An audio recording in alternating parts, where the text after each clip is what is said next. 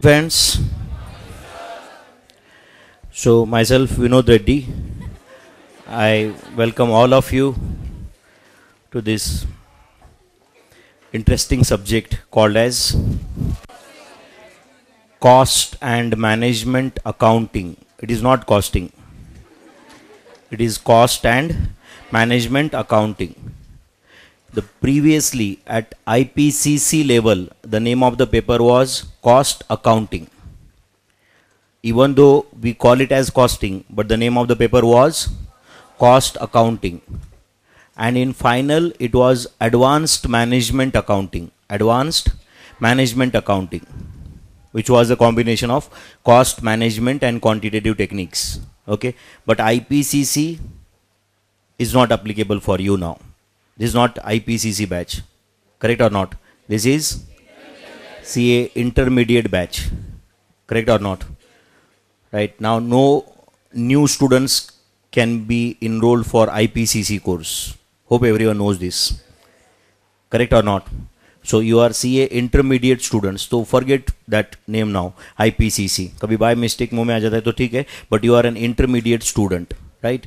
तो for intermediate the name of the subject is what is the name of the subject cost and management accounting ठीक है तो बोलते वक्त आप बोल सकते हो शॉर्टकट में कॉस्टिंग के बैच के लिए जा रहे हैं कॉस्टिंग का बैच कर रहे हैं but actually the name of the paper is cost and management accounting okay very first question of this batch you tell me what is the meaning of cost? What is costing? What is cost accounting? What is cost management? कोई idea है क्या? What is cost से start करते हैं? What is cost yes कोई बता सकता है? What is cost don't worry you can answer answer this is a participative batch ठीक है? या पहले दिन कोई और एक्सपेक्टेड है? आपको कुछ मोटिवेशनल लेक्चर वगैरह एक्सपेक्टेड है क्या? Yes cost is an expenditure incurred in something in something means it may be producing the goods rendering the service we are rendering this services of education here correct or not we are running a coaching center there is a cost involve for this or not what is the cost study material printing cost correct or not depreciation of furniture office rent classroom rent, quite possible, electricity, salary to staff, telephone expenditure, stationery expenditure, depreciation of n number of things. Correct or not? So there is a cost involved for this. Correct है अच्छा फिर cost price and value में क्या difference है? Cost and price he same some of you were also saying cost is a price तो whether cost is a price अच्छा then whether cost is a value whether cost is a value no अच्छा इस, इसका मतलब आप बोल रहे हो कि these three terms are different you are saying cost price and value are different can you tell me the difference between this cost price and value then अगर डिफरेंस है तो बता भी देना फिर मुझे। कॉस्ट प्राइस एंड वैल्यू बता सकते हो? What is cost what is price and what is value कोई बता सकता है मुझे? ये तीन टर्म डिफरेंट है, आप बोल रहे हो। Yes tell me what is cost cost वो लड़की ने बताया it is an expenditure incurred that I understood price cost plus profit is a price cost plus profit is price अच्छा प्राइस मतलब सेलिंग प्राइस है फिर।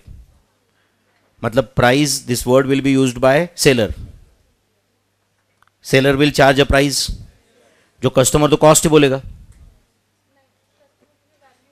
कस्टमर के लिए वैल्यू होता है। एंड कंज्यूमर के लिए क्या होता है फिर? कस्टमर के लिए वैल्यू होता है और कंज्यूमर के लिए क्या होता है फिर? Is a difference in customer and consumer मेरे पापा ने मेरे लिए लैपटॉप परचेस किया तो मेरे पापा कस्टमर हो गए और मैं कंज्यूमर हो गए। बराबर है ना?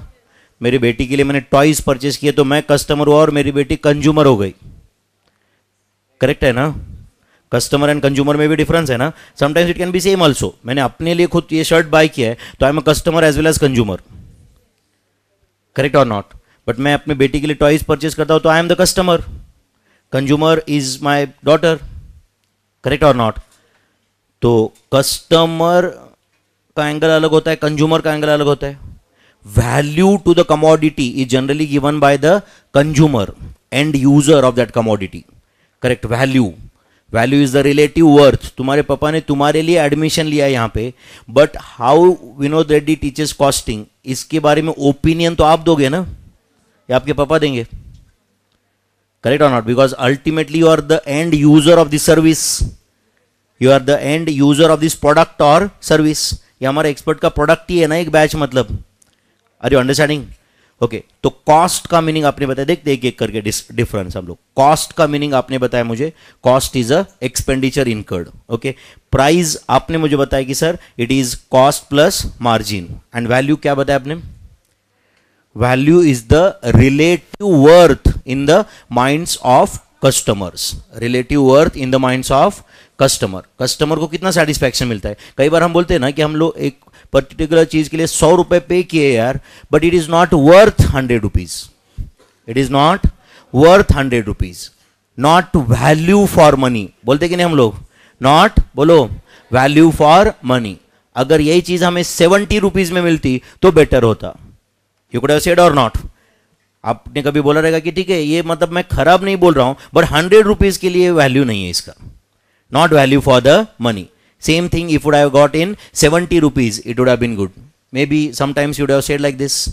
तो वैल्यू इज़ डिफरेंट अगर एक एक सेंटेंस में डिफरेंस बताना है तो cost of the product or service is a fact price is a policy and value is an opinion value is an opinion pricing policy होता है करेक्ट है? कॉस्ट इज़ अ फैक्ट अभी हम इस बैच में प्राइसिंग डिसीज़न नहीं लेने वाले, या वैल्यू के बारे में डिस्कशन नहीं करने वाले. We are going to discuss about cost as the name of the subject is cost and management accounting correct or not pricing policies is also one of the chapter but that is at C A final level not at intermediate level fine तो we are going to discuss about cost तो what is cost again coming back to the point ए लड़की ने बताया cost is the बोलो expenditure incurred in producing the goods and oblique or in rendering the services चलो, एक simple example बताता हूँ और। आप मुझे बताओ कि मैं जो बता रहा हूँ, ये आपने बताया डेफिनेशन के अंदर आता है क्या?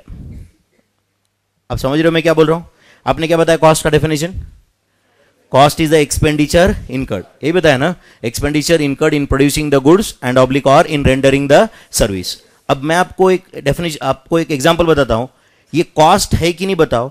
एंड उसके साथ साथ में ये भी बताओ कि आपने जो डेफिनेशन बताया कॉस्ट का, ये उसके अंदर आता है क्या? ठीक है? 2004 में मैंने पढ़ाना चालू किया, उसके बाद में for 12 13 years okay I have not attended any functions of my family birthday attend नहीं किया किसी का। Because of commitment in coaching सुबह छः बजे क्लास है तो ऑब्वियसली छः बजे यहाँ पे। पहले तो छः बजे क्लास हुआ करता था, अभी तो सात बजे का ट्रेंड है। बराबर ना? कोई फ़ंक्शन अटेंड नहीं किया, कभी कोई राइट रिलेटिव के पास गया नहीं। Is it a cost that I have paid for making my career is it a cost that I have paid in making my career so is it coming in your definition expenditure incurred in producing the goods and oblique or rendering the services is it coming under your definition आपका क्या definition था? Expenditure incurred in producing the goods and oblique or in rendering the service समझा है नहीं? अच्छा बताओ, अगर यही टाइम जो मैंने 12 साल के करीबन 12 13 साल के करीबन 13 14 आवर्स ये टीचिंग के लिए दिए, यही काम, यही टाइम अगर मैं किसी और एक्टिविटी के लिए देता तो I could have earn some money over there is it a cost for running a coaching center is it a cost of running coaching center yes it's a cost of running a coaching center but it is not coming in your definition तुम्हारा definition तो बहुत simple है फिर correct or not there are some other cost which are not included as per your definition a simple definition मैं गलत नहीं बोल रहा हूँ बट वो बहुत सिंपल डेफिनेशन हुआ. कॉस्ट इज़ एक्सपेंडिचर इनकर्ड तो थोड़ा और ये डेफिनेशन का स्कोप बड़ा करते with a very simple wording. Cost is the monetary value of all sacrifices made to achieve an objective. समझा क्या? Cost is a monetary value of all sacrifices made. जो जो सैक्रिफाइस हाँ तो अभी मेरे जेब में दो सौ रुपए थे, टेलीफोन बिल आया डेढ़ सौ रुपए, मैंने उसमें से डेढ़ सौ रुपए निकाल के दे दिए। तो I have made a sacrifice I have made a sacrifice of one fifty rupees क्यों मैंने टेलीफोन का बिल पे किया? क्योंकि टेलीफोन चाहिए ऑफ़िस के लिए। यस और नो राइट क्यों चाहिए? बिज़नेस करने के लिए। अदरवाइज़ स्टूडेंट के फ़ोन कैसे आएँगे? इसका मतलब इट्स अ बिज़नेस एक्सपेंडिचर ना? मुझे कोई शौक नहीं था ना वो चीज़ का।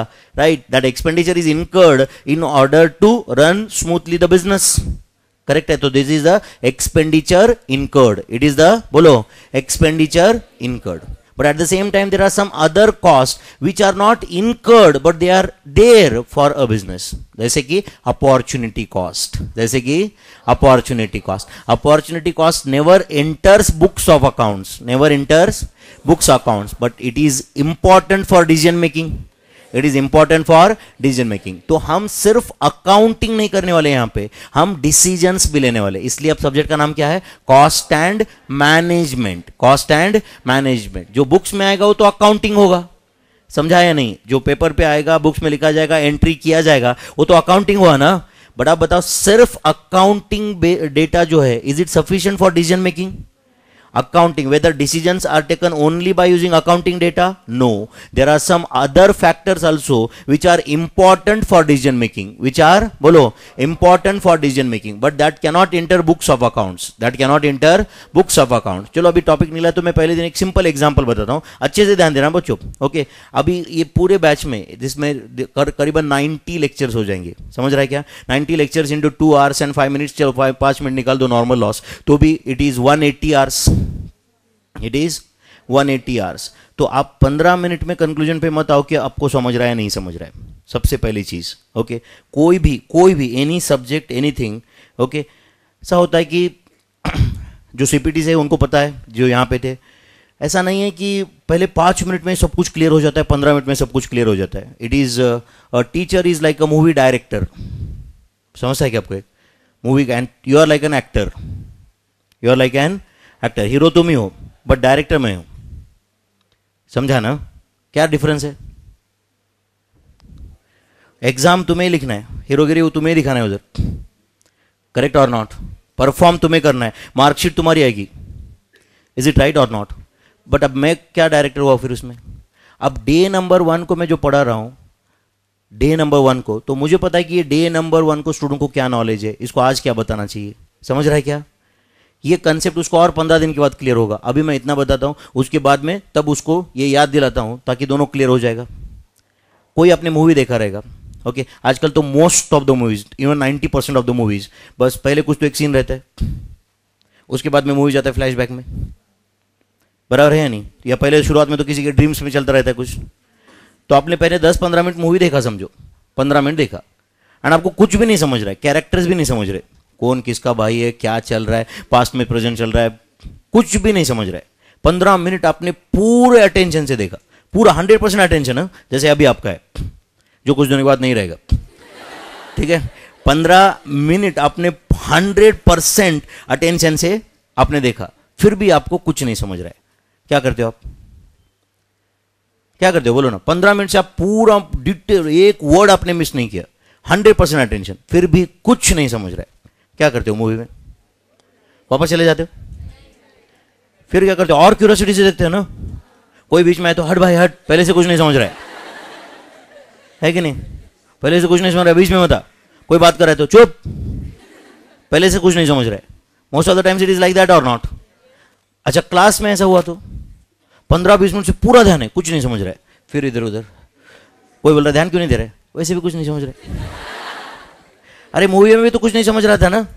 तो और क्यूरियोसिटी से देखा ना तुमने? क्यों? टू नो मोर आपको पता चला, ठीक है भाई, इसका रेफरेंस कुछ आगे आएगा।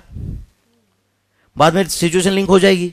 पहले पंद्रह मिनट मूवी देखा था, आपने कुछ नहीं समझा। बाद में और एक घंटा आगे चला, उसके बाद चलो हाँ मतलब शुरुआत में वो था अच्छा इसके सपने में वो था वो था हाँ अब लग गया लिंक अब पूरा समझा। मतलब आपको डेढ़ घंटे के बाद सिर्फ़ वो डेढ़ घंटे वाला पोर्शन नहीं समझा। ज़ीरो टू डेढ़ घंटे तक, वो पूरा समझा ना? बट शुरुआत का जो पंद्रह मिनट नहीं समझा था वो भी समझाना भी। क्यों? आप कंटिन्यू किए इसलिए। एग्जैक्टली अपोजिट अप्रोच बैचेस में होता है बच्चों का। करेक्ट है कि नहीं? मैं डे नंबर वन को डिसाइड करूँगा। मुझे समझ आएगा ऐसा नहीं होता है भाई। कोई, जैसे मैंने बोला मूवी डायरेक्टर है। करेक्ट है? अब समझो, मैं थ्री इडियट्स डायरेक्ट कर रहा हूँ। मैं पहले दिन मान लो सब कास्ट को लेके आया डायरेक्ट लद्दाख में। और उनको बोला कि तुम्हारा कॉलेज में ये था, ऐसा ऐसा था, ये था। अब लास्ट सीन हमें ये करना है। तुम दस साल के बाद मिले हो। वो बोलेगा कब मिले थे हम लोग? अभी तो कोई शुक मतलब क्या मूवी के वो सेम सीक्वेंस जिस जिस सीक्वेंस में हम देखते हैं उस सीक्वेंस में शूट होता है क्या? समझा कि मैं क्या बोल रहा हूँ? उस सीक्वेंस में शूट हुआ रहेगा क्या? अच्छा बताओ एक्टर को स्टोरी तो ठीक से पता है क्या फिर? वो डायरेक्टर बता रहा है ना उस समय पे तो एक्टर का, का काम क्या है?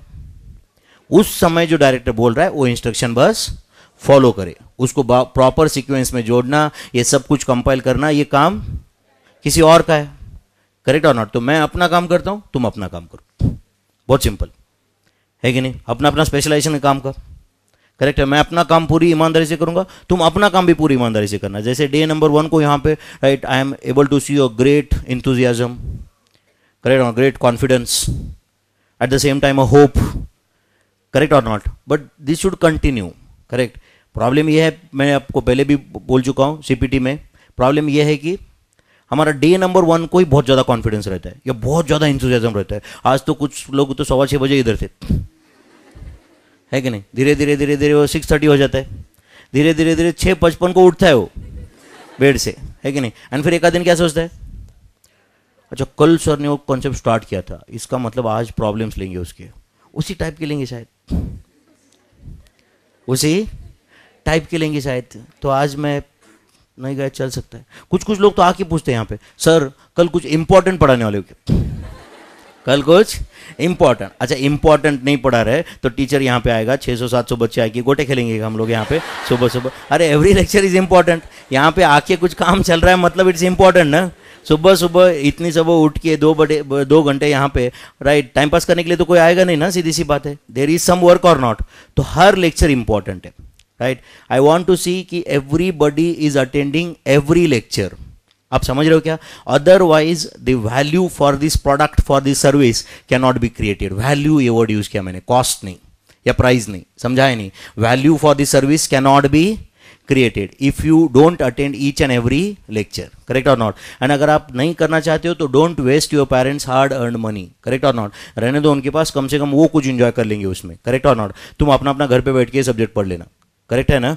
अगर आप हर रोज नहीं आने वाले, नहीं आने वाले हो तो इसका कोई वैल्यू क्रिएट नहीं होगा।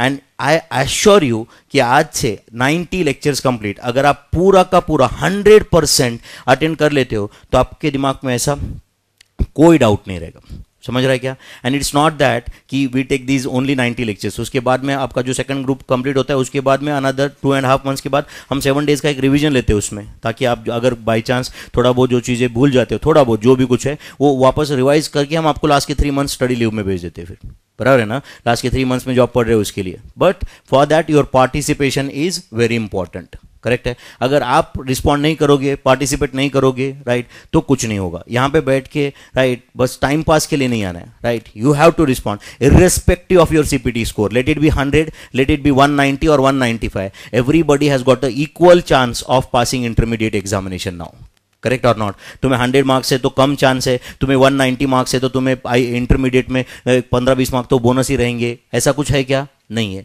Everybody has got the equal chance of passing this examination now now it's your hard work कई सारे अभी राइट आईपीसीसी का जो रिज़ल्ट आया, कई सारे सीपीटी का अच्छे अच्छे रिज़ल्ट है. इंटरमीडिएट में लॉ में गया टैक्स में गया, ये है. कई सारे बच्चे हंड्रेड एक सौ दो, एक सौ पाँच मार्क्स वाले भी बोध ग्रुप पास हुए. अच्छे एक मार्क्स से फ़र्स्ट ग्रुप पास हुआ seventy plus eighty plus eighty five plus marks है कई लोगों को कॉस्टिंग एंड एफ़ एम में. Previously it was together correct है? बट इसका मतलब है it's all your hard work and your hard work of another how many months?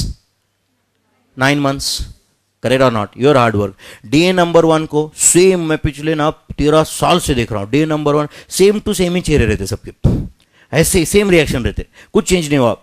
Right सिर्फ़ टेक्नोलॉजी चेंज हो गई। फेसबुक आ गया व्हाट्सअप आ गया मोबाइल आ गया तेरह साल में। बट डे नंबर वन का जो स्टूडेंट का रिस्पॉन्स रहता है देखने का तरीका रहता है, वो कभी चेंज नहीं हुआ। फुल सीरियस राइट एंड एक अंदर से यस करके दिखाना है मुझे कुछ। बस घर से तिलक लगा के माँ ने भेज दिया, जा बेटा। है कि नहीं? जा बेटी। बेटा, आया आज तो जोश में। कल?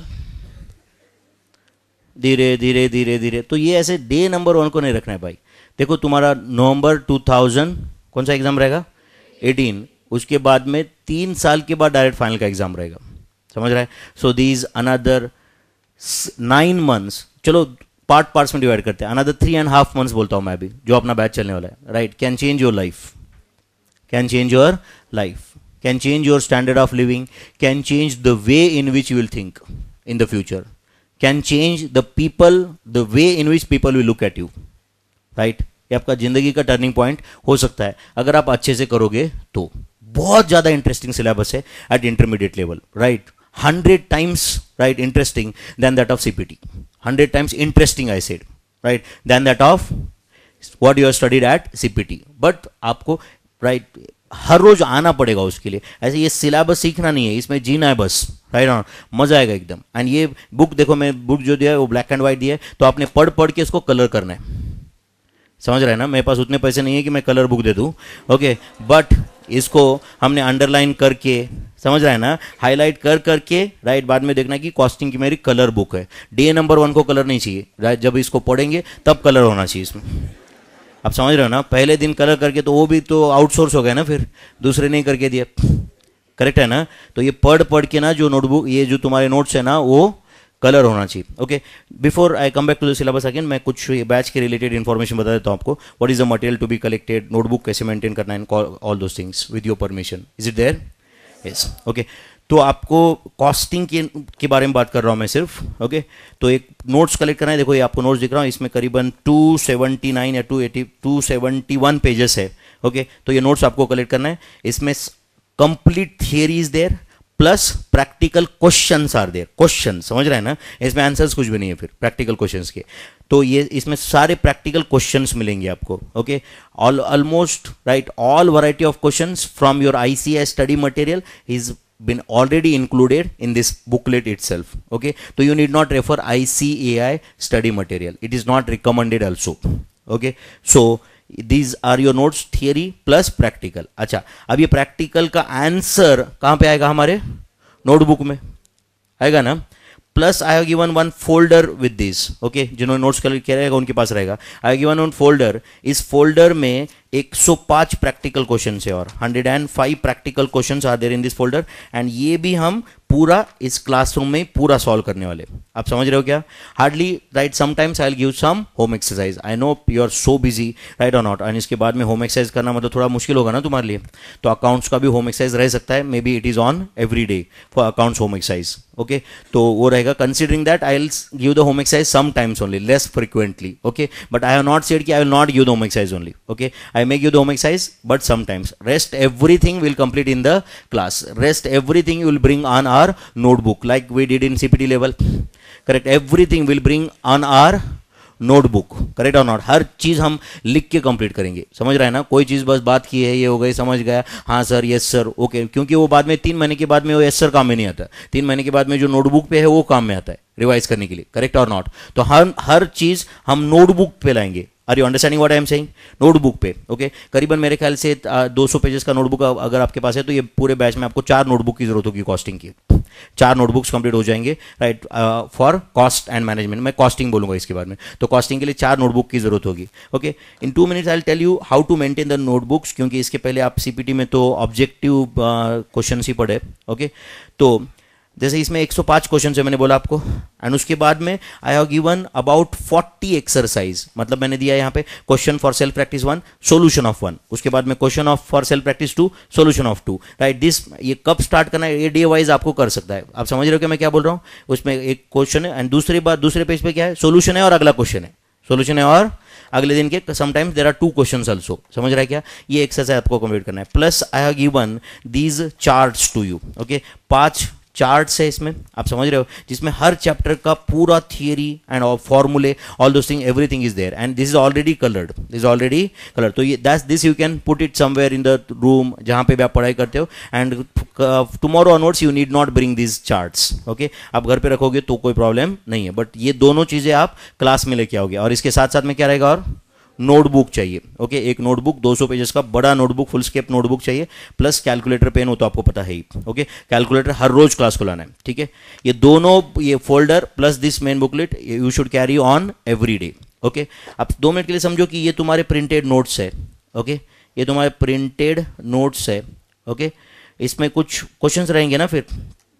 लेट से प्रिंटेड नोट्स में लेट से पहला चैप्टर चल रहा है मटेरियल्स ओके ऐसे समझो. पहला प्रैक्टिकल चैप्टर है लेट से मटेरियल्स उसमें question number one question number two question number three printed रहेगा ना इधर? आप समझ रहे हो क्या बच्चों? मटेरियल्स एंड समझो, ये जो तुम्हारे क्लास प्रिंटेड नोट्स है, उसका let's say page number eighteen है. क्या पेज नंबर है? एटीन आपके नोट्स में देख सकते हो पेज नंबर तो दिया है उधर. पेज नंबर एटीन है. And let say this is your notebook this is your notebook okay and समझो, ये नोटबुक में अब तुम पेज नंबर सिक्स पे हो, समझो. पेज नंबर सिक्स पे हो। ऐसे समझो आप। आप समझ रहे हो बच्चों?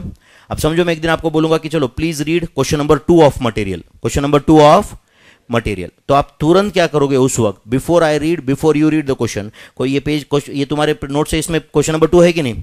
वहाँ पे लिखोगे पेज सिक्स समझा क्या मैं क्या बोल रहा हूँ? वहाँ पे क्या लिखोगे? पेज सिक्स एंड यहाँ पे आप क्वेश्चन नंबर टू का आंसर स्टार्ट करोगे ना फिर? यहाँ पे लिखोगे पेज एटीन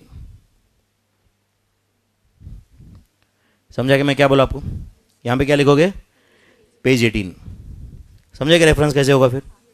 मतलब आप कल जाके आपने नोट आपने प्रिंटेड नोट्स ओपन किए। क्वेश्चन नंबर टू इसका आंसर कहाँ रहेगा? उधर क्या लिखा है पेज सिक्स तो नोटबुक के पेज नंबर सिक्स पे है। मान लो, कोई आंसर आपने डायरेक्टली देखा नोटबुक में। अरे अरे कौन से क्वेश्चन का आंसर है? वो कहाँ पे रहेगा क्वेश्चन हाँ बोलो, वो क्वेश्चन कहाँ पे पेज 18 पे। समझा कि मैं क्या बोल रहा हूँ? You have to follow this in for every subject are you understanding जब आपका एक नोटबुक समझो एक नोटबुक आपका 200 पेजेस का है वन टू थ्री फोर ऐसे पेज नंबर दोगे ना आप? उसके बाद जब सेकंड नोटबुक आएगा ना तो उसमें वापस पेज नंबर वन मत देना page number two hundred and one देना उसमें। समझा कि मैं क्या बोल रहा हूँ? 201, 202, 203 ऐसे ही कंटिन्यू करना। तीसरा नोटबुक में वापस फिर 401, 402 ऐसे करना। समझ रहे कि इसका पर्पज क्या होगा? क्योंकि आपने एक नोटबुक में पेज नंबर थ्री रखा तो फिर आपके पास पेज नंबर थ्री भी तीन है ना नोटबुक के लिए? तीन नोटबुक के चार नोटबुक के करेक्ट और नॉट तो पेज नंबर वैसे ही कंटिन्यू करना। मैंने यहाँ पे जो आपका ये जो नोट्स है ओके इसमें 270 और कुछ पेज ऐड होने वाले एक चैप्टर के लिए। एंड उसके बाद में ये जो एडिशनल नोट्स मैंने दिए, उसमें पेज नंबर 279 से ही स्टार्ट किया मैंने, देखो। इसमें पेज नंबर वन नहीं लिखा। समझा क्या? मतलब ये ये फोल्डर का क्वेश्चन आप सॉल्व कर रहे तो भी तुम्हारे नोटबुक में पेज नंबर मैच होगा। क्योंकि 279 इस बुक में है ही नहीं। समझा कि मैं क्या बोल रहा हूँ? 279 तो फोल्डर में ही है ना सिर्फ़? तो अगर आप नोटबुक पे समझो क्वेश्चन नंबर सिक्स सॉल्व कर रहे हो तो पेज आपने लिख दिया पेज नंबर 279 तो क्या रेफर करना है? साथ साथ में समझ रहे हैं ना फिर आपको? आर यू गेटिंग दिस तो नोटबुक अच्छे से मेंटेन करना है। देखो, मैं वापस बता दूँ, पूरा hundred percent completed notebook will also serve the purpose समझ रहा है क्या? ये साढ़े तीन महीने में आपको, अगर आप ये सोच रहे हो कि नहीं, मैं घर जाके आठ घंटा पढ़ाई करूँगा, दस घंटा तो ये नहीं हो सकता। तुम्हारा क्लास का ड्यूरेशन ही इतना है। तो your strategy should be attend all the classes attend all the classes with hundred percent attention class bunk करना तो दूर क्लास बंक करने का ख्याल भी दिमाग में नहीं आना चाहिए। समझ में आ रहा है क्या? एक आध दिन लगेगा कि चलो तो ऐसा वो ख्याल भी दिमाग में नहीं आना चाहिए। समझा कि मैं क्या बोल रहा हूँ? एंड अगर ऐसा लास्ट डे तक आप मेंटेन कर सकते हो। बीच में डिस्ट्रैक्शन आएँगे बहुत सारे। डिस्ट्रैक्शन होते हैं ना आजकल राइट ग्रुप होगा। बराबर है ना? फिर ग्रुप में आठ दस लोग आएँगे। करेक्ट और नॉट उसमें सब कुछ पढ़ाई करने वाले तो नहीं रहेंगे ना? ग्रुप में लोग आएँगे, फिर वो डिस्ट्रैक्शन होगा फिर। ग्रुप वाले बोलेंगे, चलो आज जाते आज ये लेक्चर वैसे भी वो इंपॉर्टेंट नहीं, आज आके ऐसे ही टाइम पास करेंगे सर बराबर है कि नहीं? ये, वो चालू हो जाएगा फिर धीरे धीरे किसी का बर्थडे आएगा, चलो बर्थडे के दिन, आज के दिन कॉलेज का ये आ गया, कुछ तो आ गया, कुछ तो आ गया। अगर अगर आप, शुरू हो गया मतलब तुम एक दिन खत्म करके छोड़ोगे उसको। शुरू भी नहीं करना है नोटंकी। समझा है नहीं? क्या बोल रहा हूँ मैं? राइट ऐसे काम शुरू भी नहीं करना है। आर गेटिंग दिस क्योंकि एक दिन तुम राइट चालू किए ये तो फिर वो चलता ही रहेगा ओके कोई भी डाउट रहा either ask it in the class after the class before the class no problem but make sure that you are completing the syllabus actually समझ रहा है ना? डोंट वरी कि तुम्हारा क्या सीपीटी का स्कोर था, अब मैं कैसे पूछूँ सर को, क्या पूछूँ? जो भी है भाई राइट डाउट बिना पूछे नाले की तरफ़ बैठने से अच्छा ही है ना कि डाउट पूछ के राइट वो क्लियर करना। करेक्ट है कि नहीं? डाउट बिना पूछे तो वैसे भी तुम्हारा एग्ज़ाम में रिज़ल्ट आने वाला है ना फिर वो। आर यू अंडरस्टैंडिंग दिस तो डाउट पूछा करो यहाँ पे ओके हियर अपना क्लास का टाइम सात बजे, फिर भी every day I will come before six forty five in fact I will come by six thirty six thirty five it तो क्लास के पहले कोई डाउट पूछना है, वो भी कर सकते हो. Six thirty six thirty five को मैं यहाँ पे हर रोज रहूँगा, अब ऑफिशियली अपना क्लास सात बजे स्टार्ट होता है. एंड सात बजे मतलब सात बजे स्टार्ट होता है. समझा कि मैं क्या बोल रहा हूँ? सेवन मतलब सेवन होता है. सेवन मतलब सेवन टेन नहीं होता. आप समझ रहे हो ना? अपना इंडियन टाइम का मीनिंग क्या होता है? सेवन मतलब? अच्छा सात बोल रहे हैं क्या? मतलब सवा सात बजे निकलेंगे. होता है ना ऐसे, कोई राइट ड्रामा है कहीं पे, मराठी नाटक है कहीं पे, साढ़े नौ बजे। अच्छा साढ़े नौ बजे क्या? ठीक है, पौने दस बजे घर से निकलते। बराबर है कि नहीं? बराबर मतलब टाइम पे पहुँचेंगे। उनको भी मालूम रहता है कि साढ़े नौ बजे बोला मतलब साढ़े दस बजे आएगा वो। उसके हिसाब से भी टाइम बताते हो। इज़ इट राइट और नॉट तो अपने क्लास हम प्रोफेशनल लोग हैं तो अपना सात मतलब क्या होता है? सात होता है। सेवन ओ क्लॉक जो होता है ना, वो सेवन ओ क्लॉक ही होता है। वो सेवन फिफ्टीन नहीं होता। समझ रहा है ना? Seven o'clock Indian standard time होता है तो वो हम फॉलो करेंगे। समझ रहा है ना? हाँ जेन्यून डिफिकल्टी है, एक आध दो मिनट पाँच मिनट लेट आता है। ऐसा कुछ नहीं कि क्लास में एंट्री नहीं हो सकता हो right but you should avoid it in fact मैं आपको रिकमेंड करूँगा कि क्लास में आके बैठे, पाँच दस मिनट आराम से थोड़ा राइट सांस ले रहे, उसके बाद में क्लास स्टार्ट हुआ, उसमें ज़्यादा मज़ा आता है कभी भी। समझ रहा है ना? एंड उससे थोड़ा अंडरस्टैंडिंग का स्कोप भी बढ़ता है। करेक्ट और नॉट अदरवाइज़ मैंने सात बजे स्टार्ट कर दिया, तुम इंटर हो रहे हो सात पंद्रह को राइट कोई तो प्रॉब्लम आज पढ़ चुके हैं, अचानक से बीच में ही करेक्ट और नॉट वो फिर ग्रास्प नहीं होता है करेक्ट और नॉट एंड अगर एक क्वेश्चन भी आपकी ज़िंदगी चेंज कर सकता है आगे जाके। समझ रहा है कि नहीं? एक क्वेश्चन बारह मार्क का है, वो नहीं आया। एंड आया। It can make a difference to pass और fail also it can make a difference to your overall result also और not so it is better कि इट इज़ बेटर रिकमेंडेड कि attend each and every class right each and every जो भी class होगा। आप समझ रहे हो क्या? Right I will try to give holidays on Sunday I will try I said okay कोई कमिटमेंट नहीं है। समझ में आ रहा है? I try to give holiday on Sunday ऐसा कोई कमिटमेंट नहीं है। मुझे नहीं लगता कि मैं फुलफिल भी कर पाऊँगा। Okay okay? तो ये सब मैं कोशिश करूँगा। आप समझ रहे हो क्या? कोशिश करूँगा कि संडे को अपना क्लास ऑफ़ रहे ओके बट कोई ज़रूरी नहीं है कंसिडरिंग दिस वास्ट सिलेबस और ये सिलेबस हमें, हम साढ़े तीन महीने में बहुत अच्छे से सुपर तरीके से कंप्लीट करेंगे इफ़ यू रिस्पॉन्ड प्रॉपरली तो तुम हो गया मेरे साथ फिर? तो अगर अगर आप यहाँ पे अच्छे से हर रोज ऐसे, अगर ये तुम्हारा अगर डिसिप्लिन लेवल एंड तक रहना बच्चों, क्या नहीं हो सकता? करेक्ट और नॉट क्या नहीं हो सकता? मतलब अगर मुझे ऐसे ज़िंदगी में एक हाथ बैच लेना कि फ़र्स्ट डे से स्टूडेंट लास्ट डे तक ये अटेंशन लेवल है। बट ऐसा होता नहीं है। बट ऐसा थेरो ऐसा थेरोटिकल डे नंबर वन को लगता है हर बार। कैसा होगा। हर बार एक होप है रहता है ना ऐसे। ऐसा होगा। बट धीरे धीरे धीरे फिर कॉन्फिडेंस बढ़ता है बच्चों का। स्टूडेंट को लगता है कि नहीं नहीं नहीं यार, डांटता है सिर्फ़ ये। मारता, पीटता थोड़ी है। है कि नहीं? ये सिर्फ़ क्या करेगा सिर्फ़? बहुत ज़्यादा हुआ तो क्या करेगा? डांटेगा। वो कुछ दिनों के बाद तो दस पंद्रह दिन में आदत भी हो जाती है उसकी। अच्छा डांट रहे क्या? है कि नहीं? बोलो सर बोलो सर। कंटिन्यू करो सर। बहुत अच्छा लग रहा है सर। है कि नहीं? एंड कुछ लोगों को तो इनफैक्ट ना, अगर मैं दस पंद्रह मिनट डाटा ना तो इतनी खुशी होती है उनको। पॉजिटिव एटीट्यूड उनसे सीखना चाहिए। मतलब वो सोचते कि ठीक है, जो नहीं, पंद्रह मिनट डाटा ना, कोई बात नहीं। बट पंद्रह मिनट गए। ये क्या कम बात है क्या? बराबर है कि नहीं? पंद्रह मिनट डाटा, थोड़ा बुरा लगा होगा, वो अलग बात है। बट पॉजिटिव साइड इज़ साढ़े आठ बजे थे, पौने नौ बज गए ना अभी। पंद्रह मिनट गए अदरवाइज़ पंद्रह मिनट इतने फास्ट थोड़ी जाते प्रॉब्लम के थ्रू है कि नहीं? डांटते हो, कैसे फटाक से पंद्रह मिनट चले जाते हैं ना? वही तो पॉजिटिव साइड है ना? तो ऐसे काम मत करो फिर राइट बट क्लास में जो भी है, आपको टाइमली मोटिवेशन भी मिलेगा right if you need motivation in between correct है? ज़रूरी होगा। तो क्लास में हम डिसिप्लिन फॉलो करेंगे यहाँ पे। समझ रहा है क्या?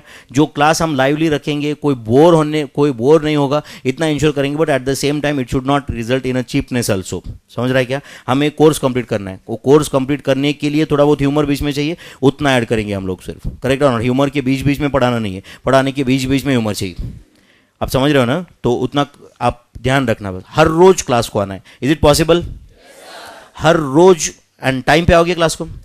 एक क्लास का वन मंथ होने के बाद में what generally we do is okay generally we do is right six forty five से सेवन क्योंकि तब तक कंसिडरेबल सिलेबस हो जाएगा ना रिवीजन के लिए। तो six forty five to seven हम रिवीजन कर सकते हैं, अभी तक का cumulative revision and seven o'clock actual class can be started seven o'clock actual class can be started okay but six forty five to seven really अगर कोई miss करता है तो ऐसा कुछ उसका छूट नहीं रहा है, बस रिवीजन पढ़ाया हुआ तो and actual class can start at seven o'clock so even that fifteen minutes हम थोड़ा सा और अच्छे से यूटिलाइज कर सकते हैं फिर। करेक्ट और not Are you understanding this? One more thing we have started from another last two months is okay. Um, हम हमारे पास और एक सर एफ़ के टीचर है प्रशांत साडा सर राइट जो सी में यहाँ पे थे उनको पता है तो हम every Friday every Friday 6:15 to 7 in the morning 6:15 to 7 in the morning we are conducting sessions on various topics like uh, last time topic was Harshad Mehta scam right India uh, shining या make in India last time का topic था उसके पहले stock market का analysis उसके पहले mutual funds का एक टॉपिक था just this is your syllabus at the same time it is your right extra knowledge ठीक है सिलेबस में डायरेक्ट रेफरेंस नहीं होगा बट डेफिनेटली कॉमर्स स्टूडेंट के लिए आउट ऑफ़ सिलेबस है तो नहीं बोल सकते ये। तो we conduct the session six fifteen to seven six fifteen to seven but that is completely optional that is completely optional आपको अगर नॉलेज लेना रहा तो यू कैन कम डाउन नहीं है तो आप सात बजे मैं क्लास स्टार्ट कर दूँगा बराबर, ठीक है? तो इसके इमीडिएटली कॉस्टिंग के बाद में एफ़ का बैच स्टार्ट होगा। कॉस्टिंग का बैच अभी फ़र्स्ट फेब से कब तक चलेगा? फिफ्टींथ मई तक चलेगा। सिक्सटींथ मे को सेम टाइम पे एफ़ स्टार्ट हो जाएगा। तो उसमें भी वो कंटिन्यू होगा। So that Friday lectures will continue right for ever for the year completely round the year right वो कंटिन्यू रहेगा। हर फ्राइडे को six fifteen to seven and हमने टाइम भी ऐसा रखा है उसका कि जिसको सही में इंटरेस्ट है वही आएगा। सिर्फ़ टाइम पास करने आके यहाँ पे बैठेगा नहीं ऑब्वियसली सिक्स फिफ्टीन को टाइम पास करने कोई आएगा नहीं यहाँ पे। बराबर है ना तो six fifteen to seven every Friday that lecture will be conducted over year अगर आप कल से, अभी कल ही फ्राइडे है ना फिर? तो अगर कल कल से ये रहेगा, एक एक वीक भी इसमें ब्रेक नहीं होगा। कल से सिक्स फिफ्टीन टू एंड सात बजे क्लास स्टार्ट हो जाएगा अपना। समझ में आ रहा है कि आपको ये? तो if you want to take the advantage of that that tomorrow is going to be seventh session तो ये छः लेक्चर्स हम ऑलरेडी पिछले, इसके पहले के छः वीक कंप्लीट कर चुके। सेवंथ है और this will continue this will continue very soon it will become fifty century and all those things also this will continue on every Friday तो if you want to really take the advantage of that you can take ठीक है? तो ये notebook कैसे maintain करना है? समझा आपको? समझा? तो नोटबुक पे आज एक नोटबुक बना के रखो, नाम लिखो उसके ऊपर मोबाइल नंबर लिखो। कई बार यहाँ पे नोटबुक आता है, बहुत अच्छे से लिखा हुआ नोटबुक पर उस पर नाम ही नहीं है। पता नहीं स्टूडेंट को क्या शर्म आती है खुद का नाम रखने के लिए। या खुद का नाम लिखने के लिए वहाँ पे राइट तो खुद का नाम लिखो मोबाइल नंबर लिखो वहाँ पे। खुद का मोबाइल नंबर थोड़ा सीक्रेट रखना है तो मम्मी पापा का रखो कि जो भी है, किसी का नंबर लिखो लेकिन जिससे तुम्हें कॉन्टैक्ट हो सकता है। कुछ कुछ लोगों का रहेगा ना कि नहीं नहीं नहीं, मेरा मोबाइल नंबर मतलब सीक्रेट है, वो सिर्फ़ बड़े बड़े स्टार को ही मिलता है।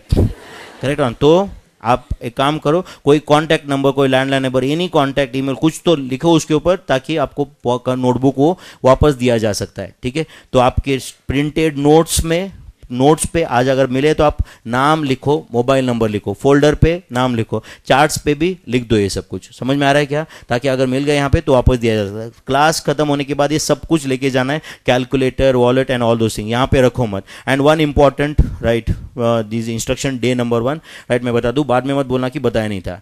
ये चॉकलेट्स वेफर्स अगर खा रहे हो यहाँ पे नो प्रॉब्लम बट अगर रैपर कहीं पे इधर उधर दिखा, सामने वाले बेंच में, इधर ऐसे घुसा दिया, इधर से ये कर दिया रैपर दिखा तो देखो मैं उस रैपर के अंदर ही तुम्हें डाल दूँगा। समझ रहे हैं? और खिड़की से बाहर फेंक दूँगा फिर समझ रहे हैं ना? तो रैपर इधर उधर नहीं करना है। आप समझ रहे हो क्या ये? पूरा, क्योंकि यहाँ पे दिन भर क्लास होता है। समझ रहे हो क्या मैं क्या बोल रहा हूँ? तुम सुबह सात बजे भले बैठे यहाँ पे यहाँ पे रात को नौ बजे तक क्लास होता है। आर यू अंडरस्टैंडिंग दिस तो इधर रैपर डाला है, उधर रैपर चुंगम चिपका दिया नीचे से। इंडियन टिपिकल आदत है अपनी। है कि नहीं? इधर थोड़ा सा देखने का इधर उधर कोई देख रहा है कि नहीं देख कोई नहीं देख रहा आराम से चिपका देने का वहाँ पे।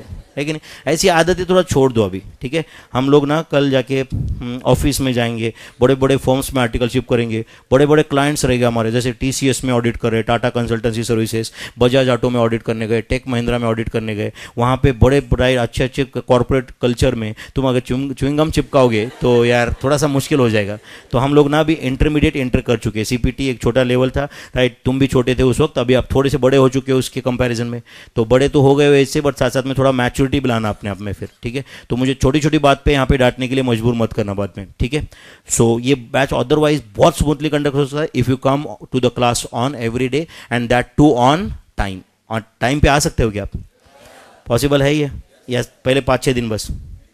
पहले पाँच ही दिन तो नहीं होगा ना। देखो, एक बार ना, एक बार ज़िंदगी में ना, ये ऐसे एक साढ़े तीन महीने हंड्रेड परसेंट अपना देखो, कर कंप्लीट हंड्रेड परसेंट देखो तो देखो आप, फिर आपको समझेगा कि तुम में क्या पोटेंशियल है। समझ रहे हैं ना? मेरे जैसा सिंपल राइट मराठी मीडियम में, जिला परिषद स्कूल में पढ़ा हुआ बच्चा, अगर यहाँ पे तुम्हारे 700 बच्चों के सामने आके पढ़ा सकता है तो तुम तो कुछ भी कर सकते हो। दैट आई नो करेक्ट और नॉट तुम में तो मुझसे ज़्यादा कैलिबर है फिर। करेक्ट और नॉट तुम कुछ भी कर सकते हो फिर। आप समझ रहे हो क्या बच्चों? सिंपल चीज़ है राइट तो तुम एक हंड्रेड परसेंट अपना दे के देखो फिर आपको समझेगा कि तुम में बहुत ज़्यादा पोटेंशियल है। आप समझ रहे हो क्या? बट वो करके देखो एक बार। आप समझ रहे हो ना? तुम कई सारे तु, तुम ऐसे लोग एग्री करेंगे इस पे कि तुम्हें सीपीटी में भले 130 मार्क है 140 है 150 है but you are not utilize your hundred percent result pass है इसका मतलब ये नहीं कि तुमने हंड्रेड परसेंट यूटिलाइज किया इज़ इट राइट और नॉट तुम अपने दिल पे हाथ रख के बताओ कि whether you have used your hundred percent barring that revision batch में देखो रिवीजन बैच में लास्ट के पंद्रह बीस दिन में बहुत सीरियस माहौल था। बट तुम इमेजिन करो कि अगर तुम साढ़े तीन महीने वैसा करते तो? या तीन महीने अगर वैसा रखते तो? Your course could your score could have been better और नॉट अच्छा ठीक है, चलो पास्ट का एनालिसिस नहीं करते बैठेंगे अभी ओके बट अब फ्यूचर तो चेंज हो सकता है ना? करेक्ट है डे नंबर वन है, इसलिए मैं बता रहा हूँ, मेरे पास ये कल से टाइम भी नहीं रहेगा, इतना सिलेबस वास्ट है आप समझ रहे हो क्या? एंड सिलेबस वास्ट है इसलिए हम रन अप करेंगे क्या फिर? हम हर चीज़ डिटेल, सुपर डिटेल में पढ़ेंगे। समझ रहा है क्या? बट उतना टाइम हमें चाहिए फिर। आप समझ रहे हो क्या? डिटेल में भी पढ़ना है फास्ट भी करना है, ये कॉम्बिनेशन एट ए टाइम नहीं हो सकता। Class will be conducted on time batch will end on time batch will end on time एक दिन से भी एक्सटेंड नहीं होगा। आप समझ रहे हो क्या? है राइट बीच में जो भी अगर कोई एक कुछ लैकिंग होता है तो मे बी सैटरडे संडे को एक्स्ट्रा लेक्चर लिया जा सकता है। करेक्ट और not but batch will end on time समझ रहा है कि आपको but you have to show your participation कल से एक ऐसा स्टूडेंट में दिखना चाहिए कि, सर, बस पढ़ना है मुझे. करेक्ट है ना? डाउट लेके आओ, ये करो राइट पढ़ो आगे एडवांस में, कल पूछो यहाँ पे आके, सर, क्या क्या पढ़ाने वाले हो? आप पढ़ के आओ पहले से, और मज़ा आएगा ना उसमें? करेक्ट और नॉट एंड डोंट थिंक कि, बस ये टीचर पे हमने काम दे दिया एंड कुछ कुछ लोगों का ये एटीट्यूड रहता है कि एक बार हमने टीचर अपॉइंट कर दिया फ़ीस भर दिया, इसका मतलब उसकी रिस्पॉन्सिबिलिटी हो गई हमें पास करना। अगर ऐसा होता बच्चों तो सीए कोर्स पे डायरेक्ट प्राइस टैग ही लगता ना। करेक्ट और नॉट सीपीटी का तीस हज़ार फ़ीस इंटरमीडिएट का लाख रुपए फाइनल का डेढ़ दो लाख रुपए टोटल तीन लाख का डिग्री डिग्री सीए डिग्री लिख के लोग ऐसे तीन लाख लिखते ना उसके ऊपर। अगर हर चीज़ ऐसे टीचर पे छोड़ी जा सकती होती तो। Are you understanding this ultimate actor तो तुम ही हो ना। करेक्ट परफॉर्म किसको करना है? परफॉर्म तो आपको ही करना है ना? करेक्ट और नॉट यहाँ पे इसी क्लास में बैठे हुए बच्चों को 93 मार्क्स भी है 91 भी है राइट 30 भी रहेंगे, पाँच भी रहेंगे। हु नोज़ करेक्ट और not ultimately depends on your seriousness at the same time ऐसा हर, मैं अपने साइड से हंड्रेड परसेंट दूँगा। अपने साइड से हम कोई कसर नहीं छोड़ेंगे। बट तुम्हारा काम हम कैसे कर सकते हैं ना? तुम्हारा काम तो तुम्हें ही करना पड़ेगा ना? आपको जो काम करना है right it is a mutual thing ना? ये टीम वर्क है ना? करेक्ट एंड नेवर कंसिडर कि teacher is against the students teacher एक फ्लो है not against the student it is with the students हमें साथ में आके ये कंप्लीट करना है. समझ रहा है कि नहीं? मैंने डांट किए, तुमने ये करके कंप्लीट नहीं करना है. समझ रहा है कि नहीं? हमें साथ में हमें आज एक हम मिले यहाँ पे, इतने कॉम्पिटेंट लोग हैं हम लोग. मैं गाइड करें तुमसे थोड़ा सा एज में एक्सपीरियंस में ज़्यादा हूँ, इसलिए मैं स्टेज पे हूँ. हम साथ में आके एज अ टीम हमें काम कर, करना है. समझ रहा है ना? एज अ टीम हमें ये कंप्लीट करना है. ऐसा नहीं है कि कोई राइट सुपीरियर है, कोई इन्फीरियर है यहाँ पे। बस हम एक टीम है एंड हमें एक टास्क दिया गया कि हमें right ninety ninety five days का टाइम है या जो भी तीन, साढ़े तीन महीने का टाइम है और इसमें हमें एक सब्जेक्ट कंप्लीट करना है एंड उसके लिए टाइम है हमारे पास सुबह सात से नौ। राइट तो ये काम में, ये काम करने, एक एज अ टीम हमें कंप्लीट करना है। आप समझ रहे हो क्या बच्चों? As a team we have to complete this ये हो सकता है क्या? ये हो सकता है क्या? That is poss that is not possible without your participation समझ रहा है क्या? अगर आप पार्टिसिपेट करोगे तो ही मज़ा आएगा फिर इसमें। एंड अगर आप क्लास को जल्दी आ सकते हो टाइम पे आ सकते हो तो और मज़ा आएगा। सिक्स फोर्टी फाइव का रिविजन लेंगे। अगर उसके पहले लास्ट बैच में देखा, उसके पहले कुछ बचा देते तो even for through the informal talks बात करके यहाँ पे और नॉलेज गेन किया जा सकता है ना? पॉसिबल है या नहीं है? एंड अगर सक्सेसफुल होना है, सब, ज़िंदगी में कुछ, सबसे पहला काम, सबसे पहला, जल्दी उठना सीखो। कोई बिज़नेस बड़ा नहीं हुआ, सुबह दस बजे उठ के। समझाया नहीं? कोई आदमी ज़िंदगी में सक्सेसफुल नहीं हुआ, सुबह ग्यारह साढ़े ग्यारह बजे उठ के।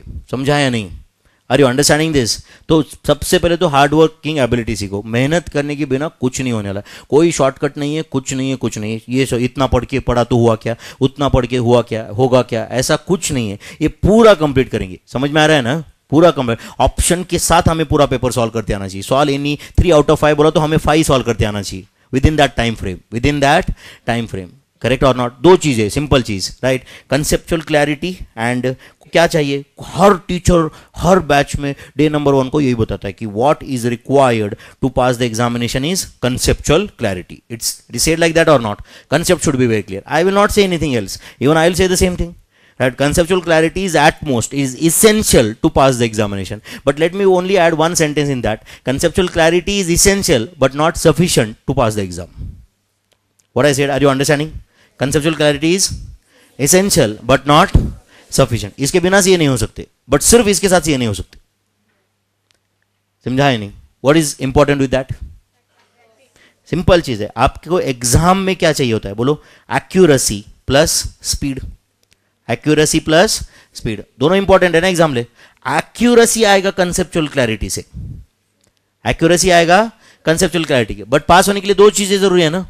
एक्यूरेसी प्लस स्पीड तो कंसेप्चुअल क्लैरिटी से क्या आएगा?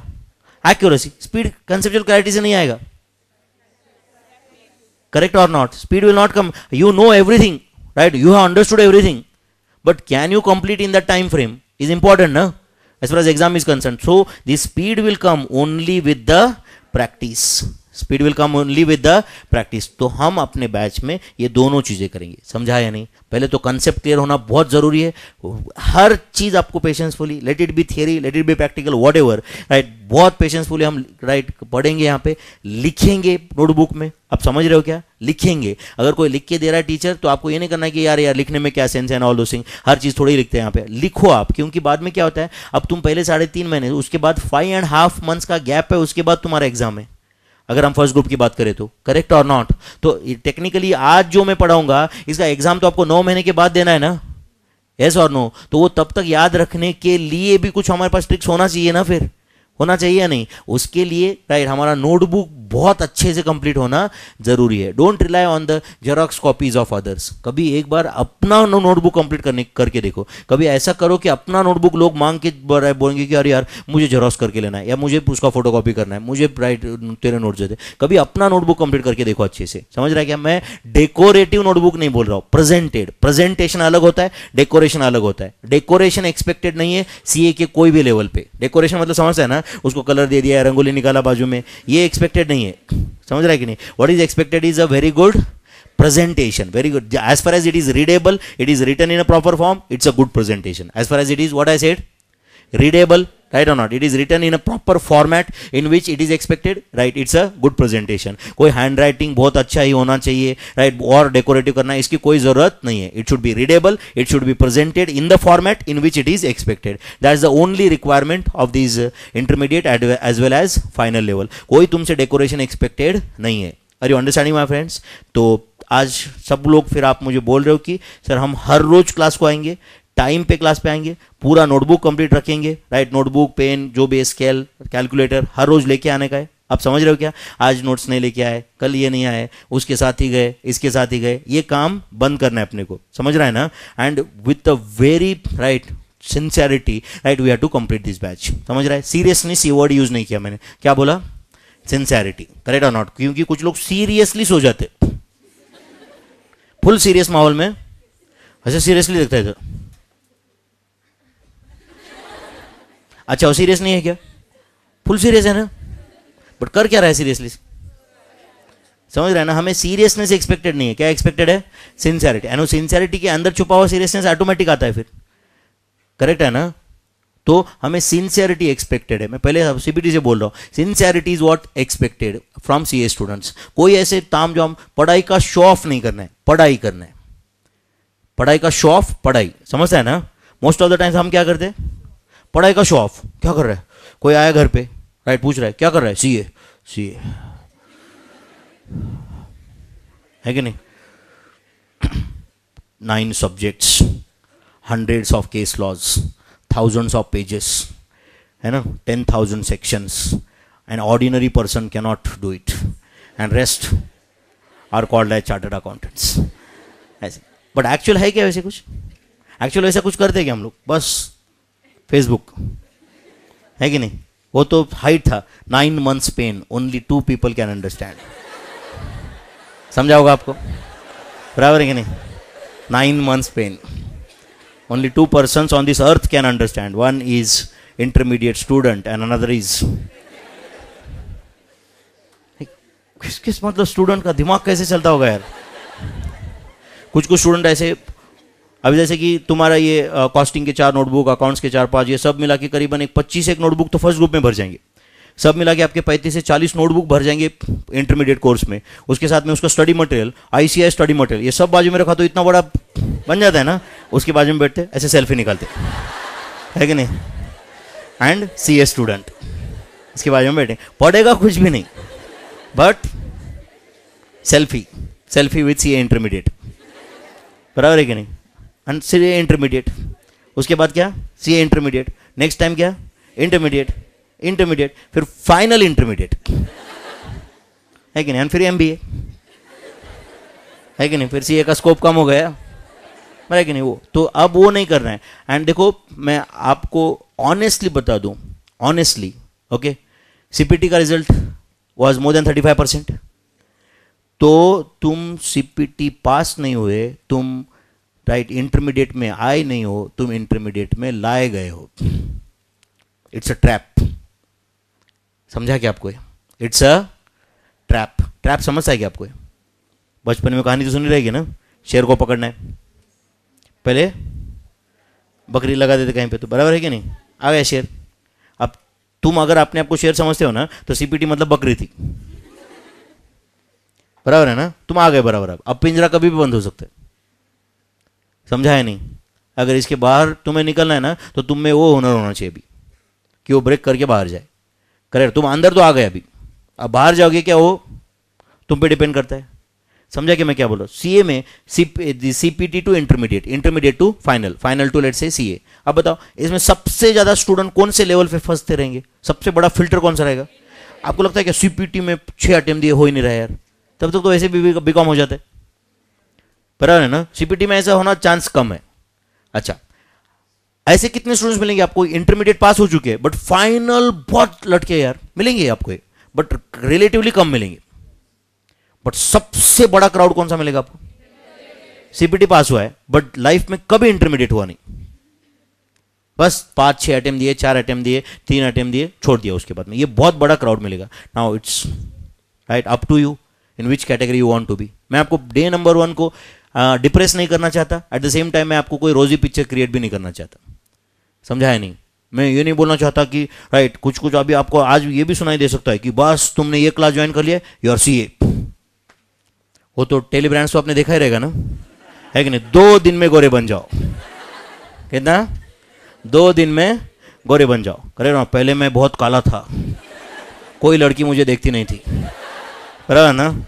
फिर मैंने एक दिन वो क्रीम लगाया मेरे दोस्त जॉन ने मुझे दिया था।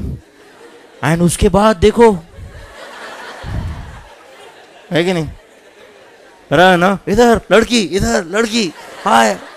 है कि नहीं? ऑल द बेस्ट ठीक है? तो ये क्लास ज्वाइन किया मतलब सीए कंप्लीट करना नहीं है। तुम नहीं पढ़ोगे, नहीं होगे। समझा है नहीं? तुम पढ़ोगे हम अपने साइड से हंड्रेड परसेंट देंगे, अपने साइड से। हम हंड्रेड परसेंट देंगे। Rest up to you correct और नॉट दुनिया का कोई क्लास अगर बोलता है कि ये क्लास में सी होता है तो अरे यार, ऐसे करोड़ों रुपए लेके लोग खड़े कि मेरे बेटे को सीए बना दो बस। समझा क्या? ऐसे लोग हैं। आपको पता है क्या है प्रैक्टिसिंग सी ए राइट परसों एक सी आया यहाँ पे राइट एंड वो बोला कि, सर, मेरा राइट इतना बड़ा प्रैक्टिस है। मैं बेटा राइट इंटरमीडिएट में कुछ भी करो, सर पर्सनल कोचिंग करवाओ, घर पे आके कुछ जो आप बोलो, मैं दे सकता हूँ। राइट इसको, ऐसा नहीं होता भाई। करेक्ट और नॉट? ऐसा नहीं होता है। करेक्ट और नॉट? सिर्फ़ एक ने ये ये, कर लिया ये पढ़ लिया हो गया तुम अगर पढ़ोगे नहीं कुछ भी नहीं होगा। तुम अगर सिंसियर नहीं हो कुछ भी नहीं होगा। एंड तुम सिंसियर हो तो सब कुछ है। समझा है नहीं? तुम अगर सिंसियर हो तो। हम बस एक गाइडलाइन देंगे यहाँ पे हर चीज़ हमारे साइड से जो पॉसिबल है वो करेंगे। करेक्ट और नॉट तुम्हारा काम हम नहीं कर सकते। बहुत सिंपल एंड अगर कोई बोल रहा है कि तुम्हारा भी काम हम करेंगे वो चीटिंग है। समझाएँ जो इम्पॉसिबल है वो प्रोमिस देके कोई मतलब नहीं है ना? राइट मैं बोलूँगा कि नहीं नहीं नहीं, बस अब, बस तुम देखो अभी, तुम कैसे सीए बनते हो? ऐसा नहीं होने वाला है। आप समझ रहे हो क्या? तुम पढ़ाई करोगे तो आगे जाओगे, नहीं करोगे, नहीं जाओगे। Things things are very clear correct ना let it be clear in your mind also correct ना कोई मैं आपको फॉल्स प्रोमिस नहीं देना चाहता यहाँ पे। हम अपने साइड से सिर्फ़ पढ़ाएँगे यहाँ पे, सिर्फ़ पढ़ाएँगे। अगले साढ़े तीन महीने में क्या करना है? कोई गाना नहीं नोटिंग की नहीं, बजाना नहीं, कुछ नहीं कुछ नहीं। क्या होगा? सिर्फ़ पढ़ाई। आप समझ रहे हो? सिर्फ़ पढ़ाई करेंगे यहाँ पे। लास्ट डे को प्राइड जैसे मैंने सीपीटी में बोला था कि अगर हम आईपीसीसी में इंटरमीडिएट में मिलेंगे यहाँ पे भी मैं वैसे ही दे, बोल के बैच फिनिश कर दूँगा। समझाया नहीं? ये साढ़े तीन महीने का बैच होगा सात दिन रिविजन होगा। उसके बाद में जैसे कल वो इसके परिवेश बैच का रिविजन का लास्ट डे था राइट तुम्हारा छः महीने के बाद आएगा। छः महीने के बाद आएगा, उसके बाद में तीन महीने पढ़ो, अगले नौ महीने जितना अच्छे से यूटिलाइज कर सकते हो, उतना करो definitely result win your favour it may change your life also समझाया नहीं? अगले नौ, ये नौ महीने बहुत ज़्यादा क्रूशियल है, बहुत ज़्यादा क्रूशियल है। एंड ये नाइन मंथ्स मेरे ख्याल से नाइन मंथ्स का अगर हार्डवर्क तुम्हें लाइफ टाइम रिवॉर्ड दे सकता है तो मेरे ख्याल से इट्स वर्थ इट करेक्ट और नॉट आपको कई बार लगता होगा, नहीं सर, आपने सीपीटी में वैसे ही बोला था राइट नॉट हमें ट्वेल्थ में भी पेरेंट्स ने यही बोला था कि बस ट्वेल्थ हो जाए बेटा। बाकी ज़िंदगी तेरी है फिर।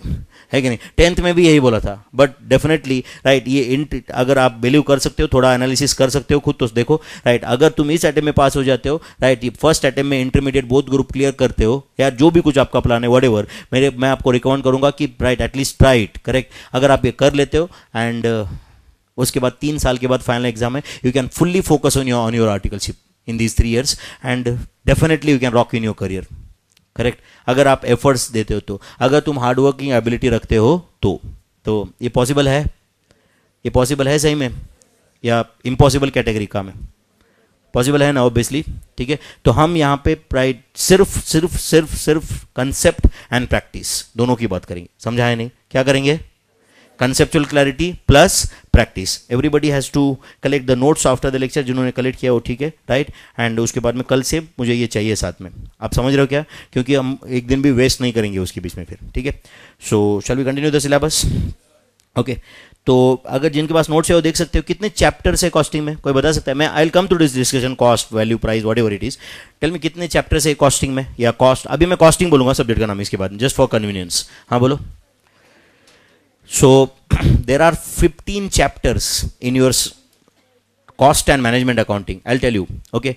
तो आप सिलेबस लिख के लेना, आपके पास अगर आज नोटबुक है तो उस पर लिखना चालू करो, नहीं है तो आप जो भी पेज पे लिख रहे हो बट आपके मेन नोटबुक में ये होना चाहिए कल से, ठीक है so this cost and management accounting cost and management accounting for C A intermediate for C A intermediate कितने चैप्टर्स है इसमें?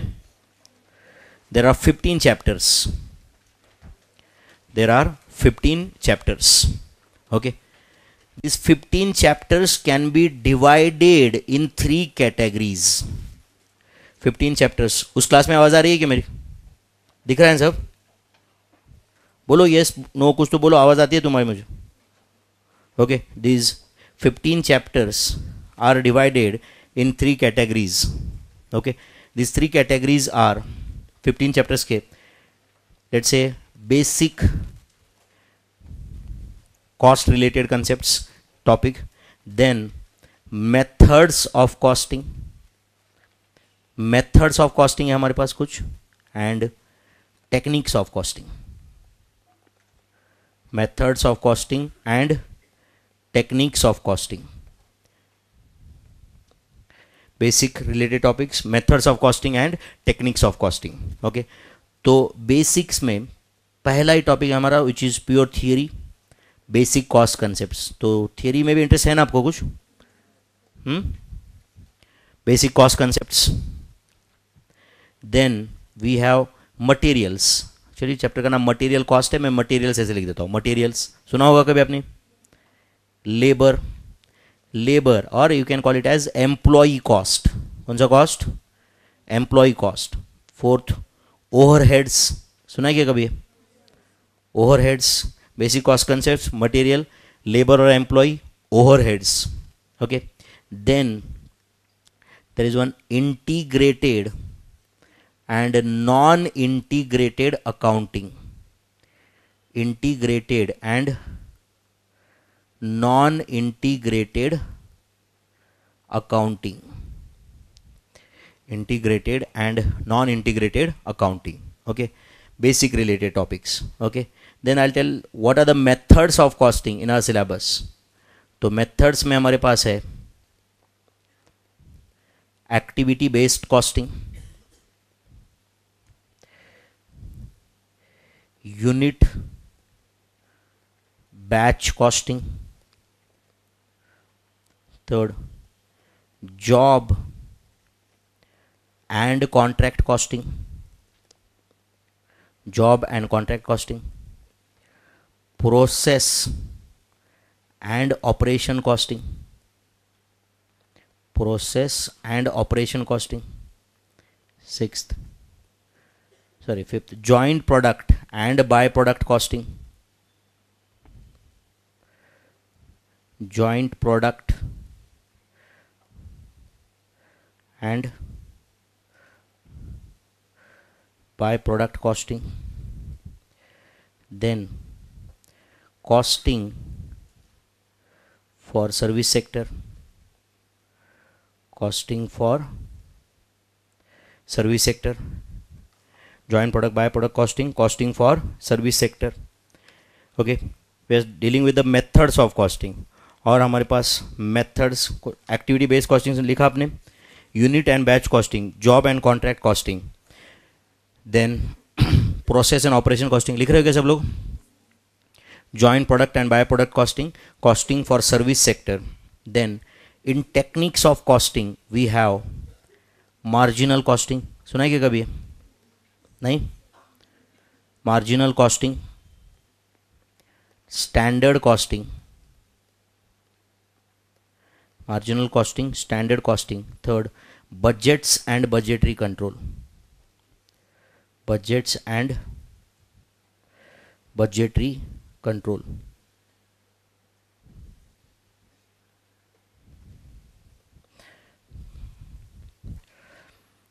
And in basic, actually basic cost concept ka bhi part hai, but can be called as a separate chapter that is cost sheets Actually it's a part of basic cost concepts only but basic में मैंने add कर दिया cost sheets तो यहाँ पे पंद्रह chapter दिख रहा है क्या आपको? Six plus six plus three समझ रहा है क्या आपको? तो सिलेबस को तीन पार्ट में डिवाइड करना related topics then methods of costing and techniques of costing basic related topics methods of costing and techniques of costing basic basic cost concept material labour and employ overheads integrated and non integrated accounting cost sheet methods of costing में कौन सा कौन सा है activity based costing, unit and batch costing, job and contract costing, process and operation costing, joint product and byproduct costing, costing for service sector या service costing बोल सकते हो उसको service costing and techniques of costing में marginal standard and budgets कितने हो गए topic पंद्रह तुम्हारा स्टडी मटेरियल का इंडेक्स देखोगे तो उसमें you will find only thirteen chapters क्योंकि what I did is I have merge these two topics unit batch costing and job and contract मैंने वहाँ पे चैप्टर नंबर एक ही दिया उसको। तो एक ही चैप्टर किया है मैंने unit batch job and contract costing समझा क्या? इसकी वजह से सिर्फ़ एक नंबर कम होगा इंडेक्स में से बट तुम्हारे सिलेबस में तो सब है। समझा क्या मैं क्या बोल रहा हूँ? And this integrated and non integrated costing I have not added in the main notes right notes for this will be separately provided to you समझा क्या आपको विल बी सेपरेटली प्रोवाइडेड तो in short in this booklet there are how many chapters 14 chapters. There are 14 chapters, no? Correct. In this booklet, there are 14 chapters, but your actual syllabus is 15 chapters. तो one chapter integrated and non-integrated accounting notes will be separately provided to you. Okay. And आपको ये जो folder दिया गया ये folder में ये सारे chapters के random questions है तो ये मैं आपको साथ साथ में ही solve कर करवा के ले लूँगा उसमें से समझ में आ रहा है क्या है तो basically you have to carry this main booklet and folder right to the class on every day this charts you need not bring आप घर पे रखो ये तुम्हारे रिविजन पर्पज के लिए तो नोटबुक तो ऑब्वियसली हर रोज लाना है ठीक है तो ये चैप्टर का नाम लिख दिया आपने So today onwards, right, we will start the first chapter that is basic cost concepts. ठीक है? मैं आपको बहुत ऑनेस्टली बता रहा हूँ बच्चों कि बेसिक कॉस्ट कंसेप्ट यहाँ पे आप हंड्रेड परसेंट ध्यान दो इन स्पाइट ऑफ़ दैट कुछ आपके दिमाग में आएगा कि नहीं नहीं सर इस पे और क्लैरिटी चाहिए और क्लैरिटी चाहिए इसमें ऐसा होगा होगा ऐसा होगा एंड अगर ऐसा हो रहा है तो बहुत अच्छा हो रहा है क्योंकि at least you are thinking are you getting this ये क्लियर कब होगा समझा क्या? धीरे धीरे जैसे हम आगे जाएँगे। वैसे फ़र्स्ट चैप्टर में ही उन्होंने क्या लिखा है? There are three techniques of costing marginal costing standard costing budget ये फ़र्स्ट चैप्टर में लिखा है उन्होंने। बट मार्जिनल कॉस्टिंग एक टॉपिक है जिसमें मैं दस लेक्चर लूँगा। तो आप बता बच्चों, मैं फ़र्स्ट चैप्टर में मार्जिनल कॉस्टिंग क्या होता है? मैं यहाँ पे सर फोड़ू तो भी आपको उतना क्लैरिटी नहीं आएगा ना उसका। क्योंकि एक टॉपिक है जिसपे दस लेक्चर लूँगा मैं। समझाया नहीं? बट फ़र्स्ट चैप्टर में उन्होंने क्या लिखा है? Are three techniques of costing marginal costing standard costing budget and तीनों के बारे में एक एक पैराग्राफ दिए। अब बताओ मैं एक पैराग्राफ के थ्रू आपको समझाऊं एंड दस लेक्चर के थ्रू समझाऊं there is a difference or not right पहला चैप्टर में लिखा है there are right three right there are methods of costing activity based costing उसका उन्होंने एक्सप्लेनेशन लिया है। राइट right, एक पैराग्राफ में एक्टिविटी बेस्ड कॉस्टिंग क्या है वो बताया गया but definitely activity based costing ये चैप्टर से इस पर मैं छह लेक्चर लूँगा ना आपके लिए।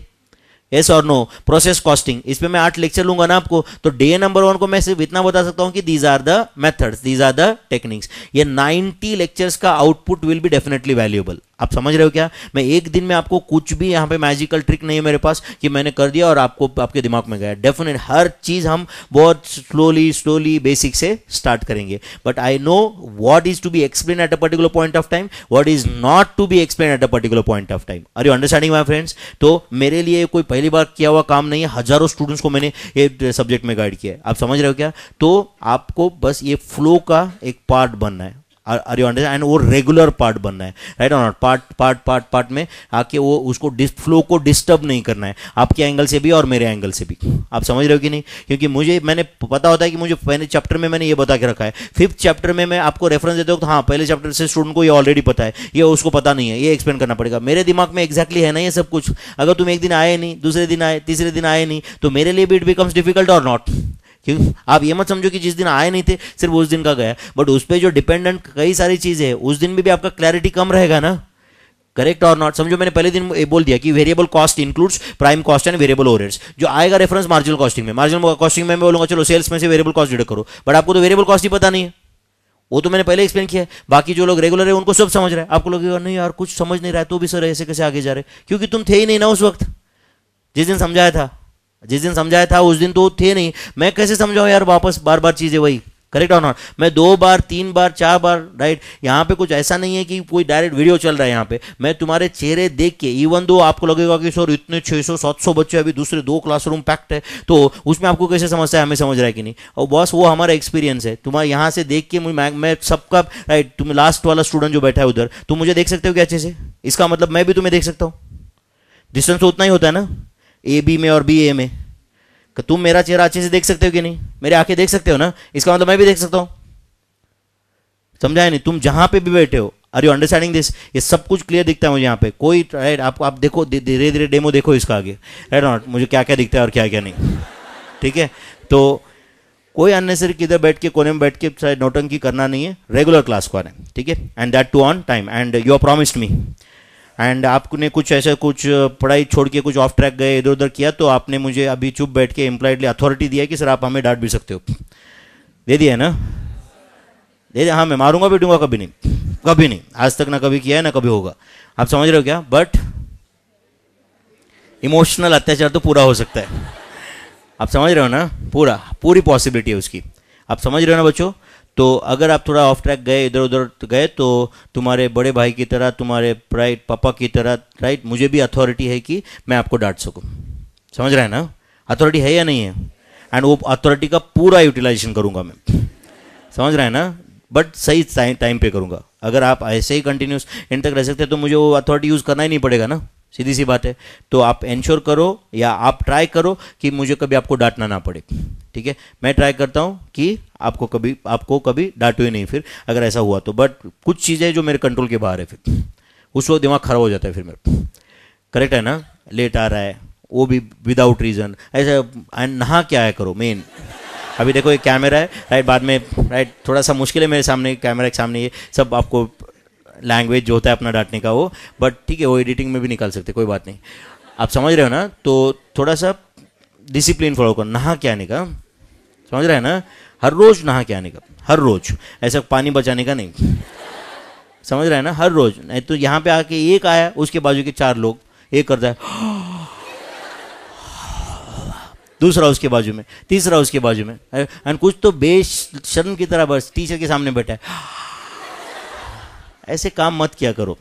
समझ रहे हैं ना? थोड़ा सा राइट यार अपने को देख के बहुत अच्छा नहीं बोल रहा बट किसी को अपने को देख के ऐसे नींद तो ही नहीं आना चाहिए यार। कम से कम उतना प्रेजेंटेबल अपन ने रहना चाहिए ना।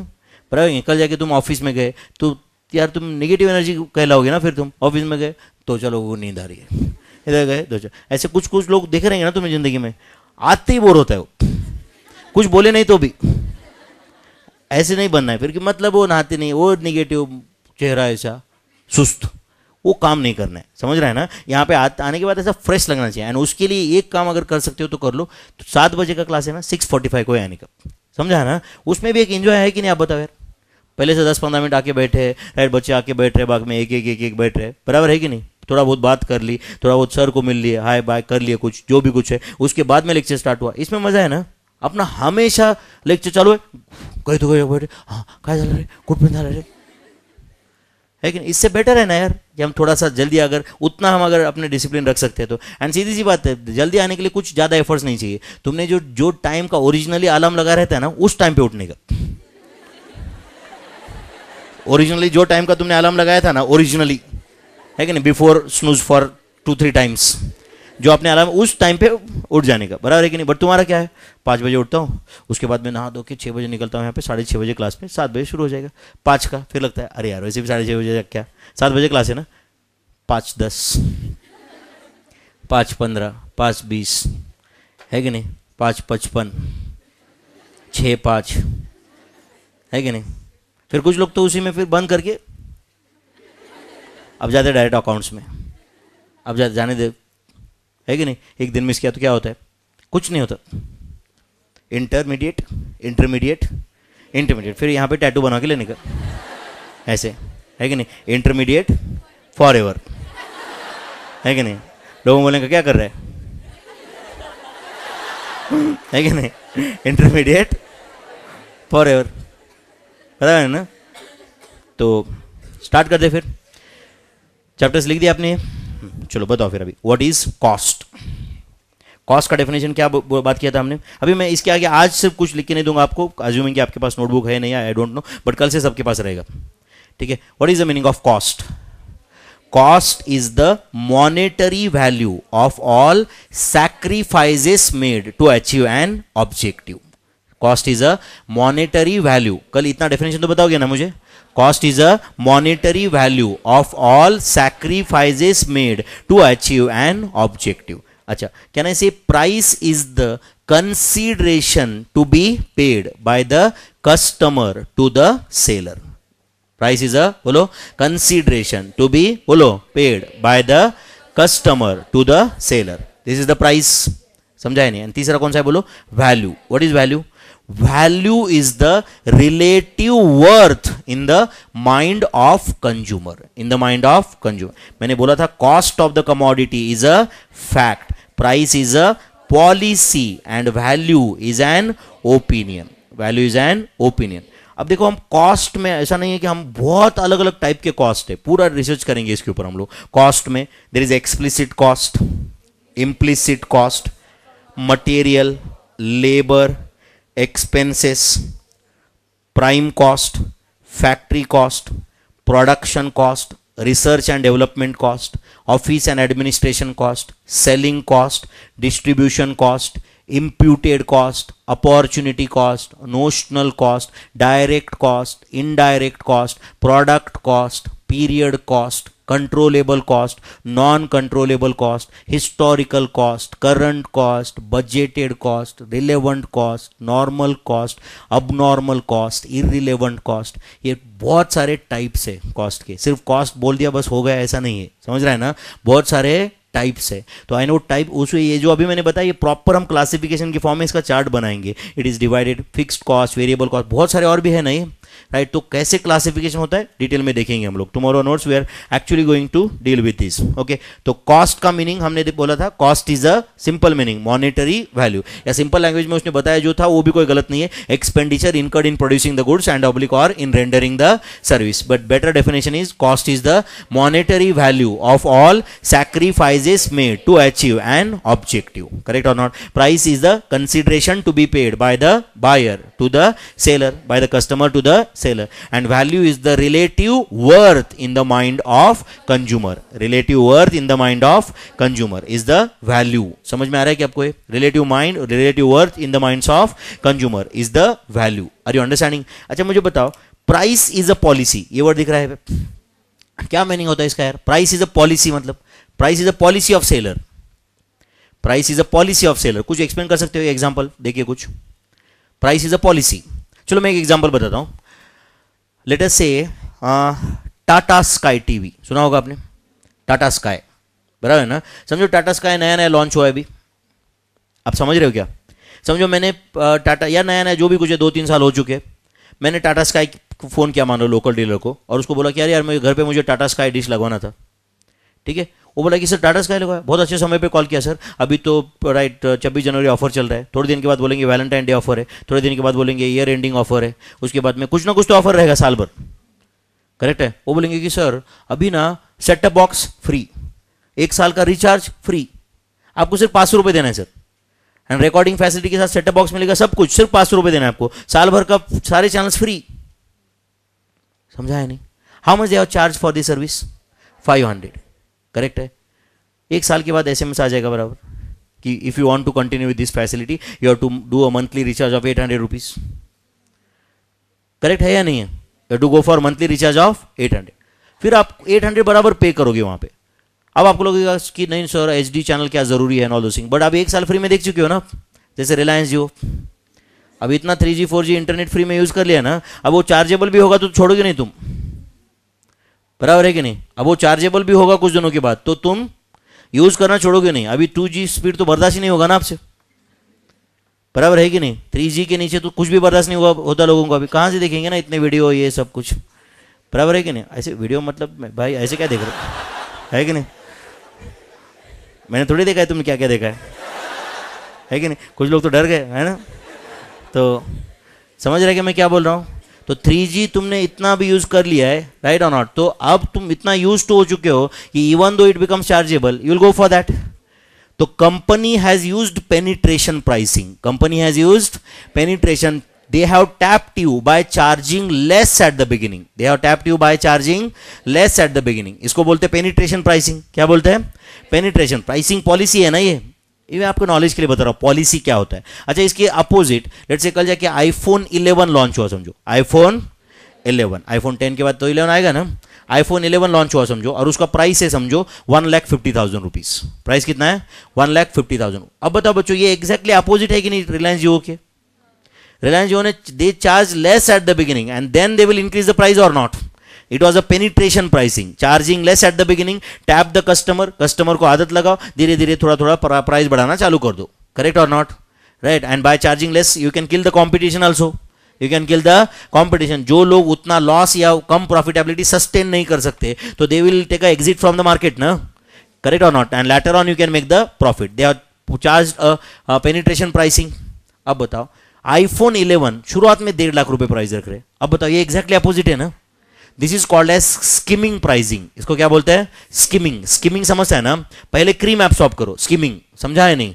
मतलब आप बताओ इंडिया में क्या वर्ल्ड वाइड ऐसे कई सारे लोग हैं जो एकदम बस डेस्परेट है नया वर्जन आते ही बाय करने के लिए, नया फ़ोन आया बाय करने के लिए। अब कई सारे लोग हैं यहाँ पे जिन, जो प्राइस इनसेंसिटिव बोलेंगे उनको। वो बोलेंगे, ठीक है, डेढ़ लाख, दो लाख मुझे फ़र्क नहीं पड़ता है। मुझे तुरंत ऐसे आईफोन इलेवन आया, तुरंत ऐसे परचेस करना चाहिए मैंने एंड तुरंत ऐसे फेसबुक पे फ़ोटो डालना चाहिए कि purchased iPhone eleven feeling blessed with Vinod Reddy five and ninety others correct or not बराबर है कि नहीं? तुरंत और उसको तुर, तुरंत उसके टाइम पास दोस्त like like like like comment congratulation congratulation thank you thank you क्या तो आईफोन बाई किया अब ये बायर्स की कोई कमी है क्या इंडियन मार्केट में?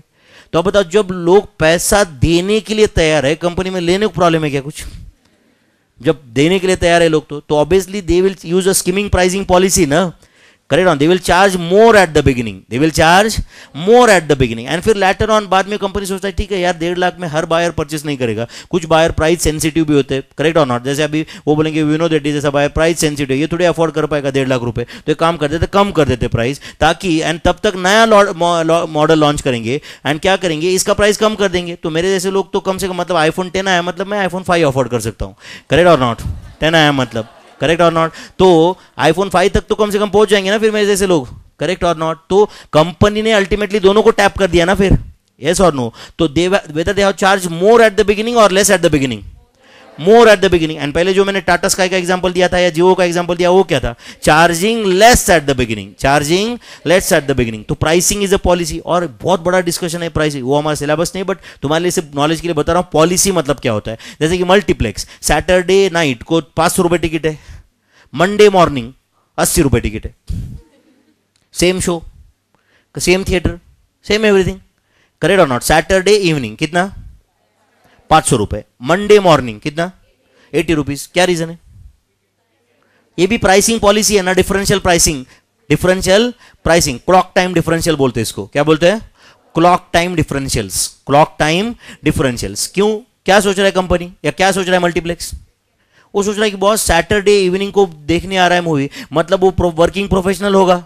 उसको ये छोड़ के और कोई टाइम सुटेबल नहीं है।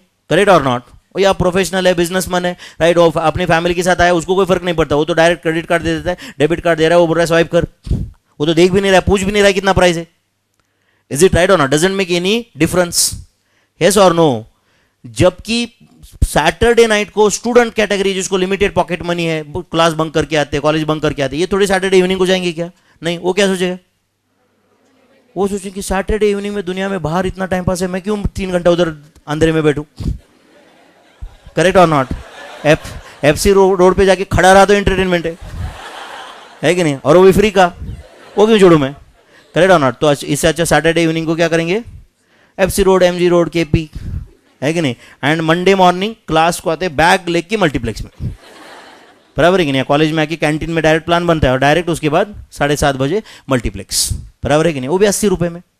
करेक्ट ना जितना पाँच सौ रुपये टिकट था उसमें तो छः सात लोगों का मूवी हो जाता है ना फिर ऑब्वियसली करेक्ट और ना? जो तुम्हारा सीधी सी बात है, जो तुम्हारा दो लोगों का पैसा जा रहा था सैटरडे इवनिंग में उसमें तो दस बारह लोग मूवी देख लेते ना इधर। करेक्ट और नॉट वो भी तो ऑब्वियसली स्टूडेंट कोई स्टूडेंट के पास लाखों करोड़ों रुपए का तो रिज़र्व पड़ा नहीं है ना? Yes to manage all those things in a limited money only ना? बहुत सारी चीज़ें मैनेज करना होता है ना? तो company also knows all those things so they are using pricing policies clock time differentials correct or not in fact कई बार जैसे कि हॉस्पिटल में होता है डिफरेंशियल अगर पर्टिकुलर सुपर डिलक्स वार्ड का पेशेंट रहा तो उसके लिए ऑपरेशनल फ़ीस ऑपरेशन का फ़ीस तीन लाख रुपए जनरल वार्ड का पेशेंट रहा तो पचास हज़ार रुपए।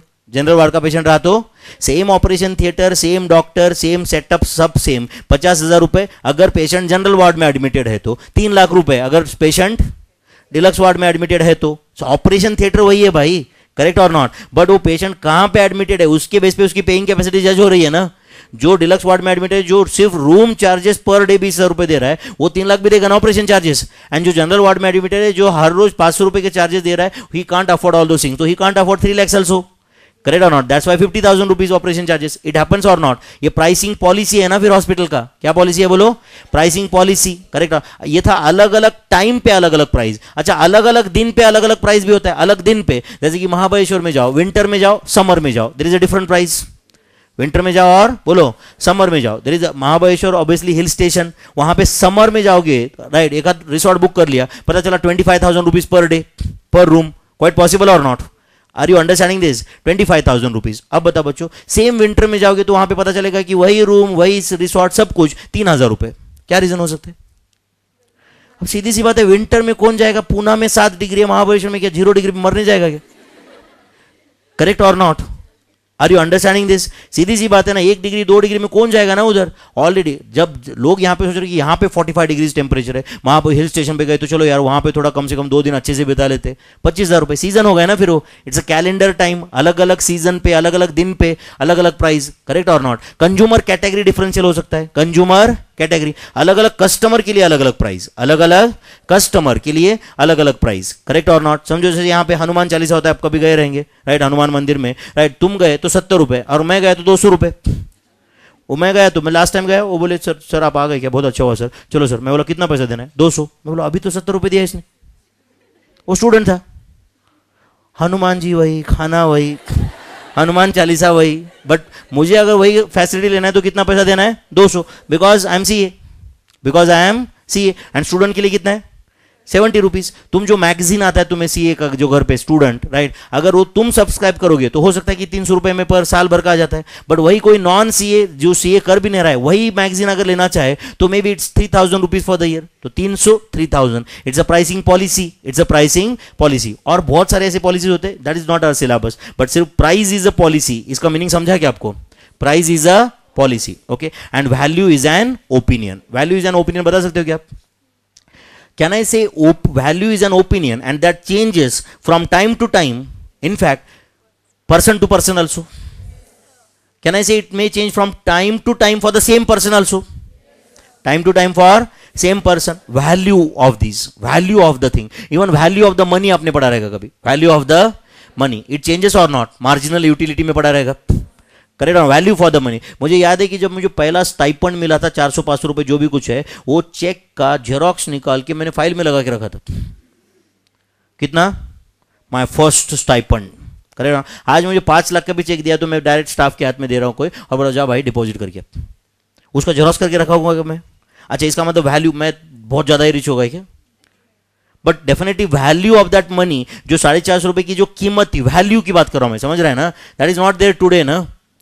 यस और नो सीधी सी बात है सीपीटी पास होने में कितनी खुशी मिलती है? वो सीपीटी पास होने के पहले आपको रहेगा बट अब आपने सीपीटी पास होने के बाद में थोड़ा बहुत सेलिब्रेट किया रहेगा दो तीन दिन, उसके बाद में तो वापस ज़मीन पे आए ना? एंड अभी नहीं आए रहेगा तो मैं लाऊँगा आपको बराबर। है कि नहीं? ज़मीन पे आए ना बाद में बाद में क्या लगने लग गया? ठीक है यार सीपीटी कुछ नहीं था। अब जब इंटरमीडिएट पास हो जाएँगे तो मज़ा रहेगा। करेक्ट और इंटरमीडिएट पास होने के बाद भी ऐसे लगेगा।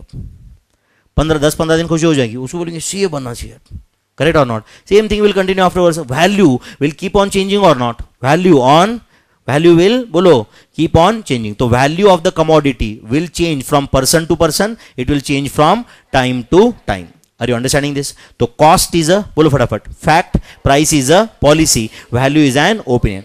Can I say cost is ascertained from producer's point of view, price from seller's point of view, and value from consumer's point of view consumer or customer's point of view more appropriate is consumer's point of view value is ascertained from बोलो लिखना नहीं मैं लिख के दूँगा बाद में अभी कुछ आपने सिर्फ़ सिलेबस लिखा है ना बस आज के लिए तो बस समझा क्या हाँ बोलो कॉस्ट इज़ असर्टेन फ्रॉम बोलो बच्चों बोलो producers point of view price from sellers point of view and value from consumers point of view value from consumers point of view hopefully understood this okay तो समझा basic difference between cost price and value कुछ गया के दिमाग में?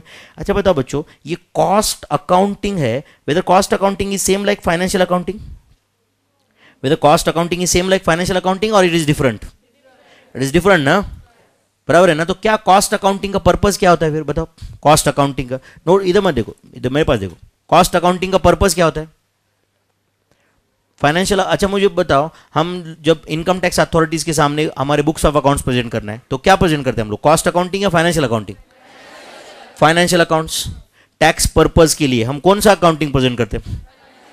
Financial accounting तो cost accounting का main purpose statutory requirement है, या it is for internal control mainly अब no doubt for big companies there is a statutory requirement also to maintain that cost audit cost account reports correct or not cost accounting and all those things but mainly it is for internal control or not reporting तो हम financial reports ही करते हैं ना सिर्फ तो previously cost accounting was a part of financial accounting only but later on very soon in fact right right they found that there is a need for separate accounting provision in fact आपने financial accounting में यही पढ़ा रहेगा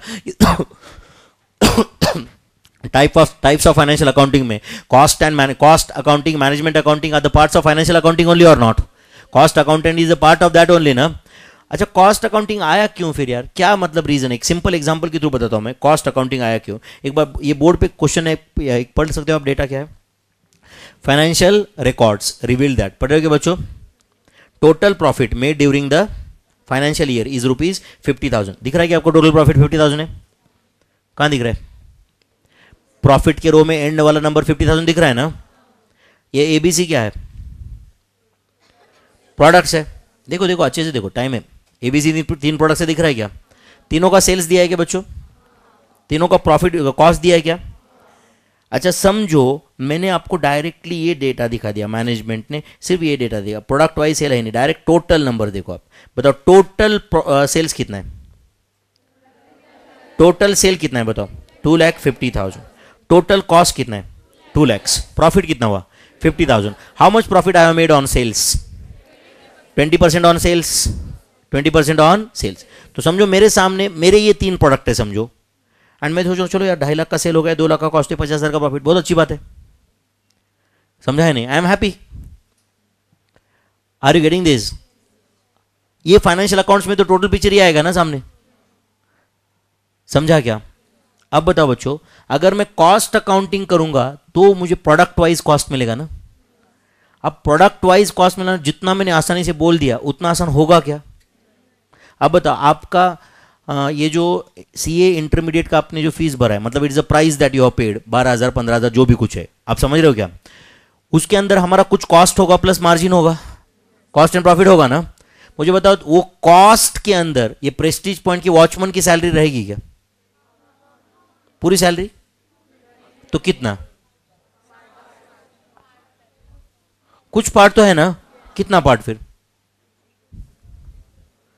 समझा क्या? अच्छा आपके जो बैच का फ़ीस है, उसमें ये कंप्यूटर या जो लैपटॉप में यूज़ कर रहा हूँ, इसका डेप्रिसिएशन रहेगा क्या? रहेगा, निकली, थोड़ा बहुत तो वो भी रहेगा। तो आप समझ रहे हो कि मैं क्या बोलना चाहता हूँ? समझ रहे तो ultimately to link the cost to the output we require a formal procedure ना?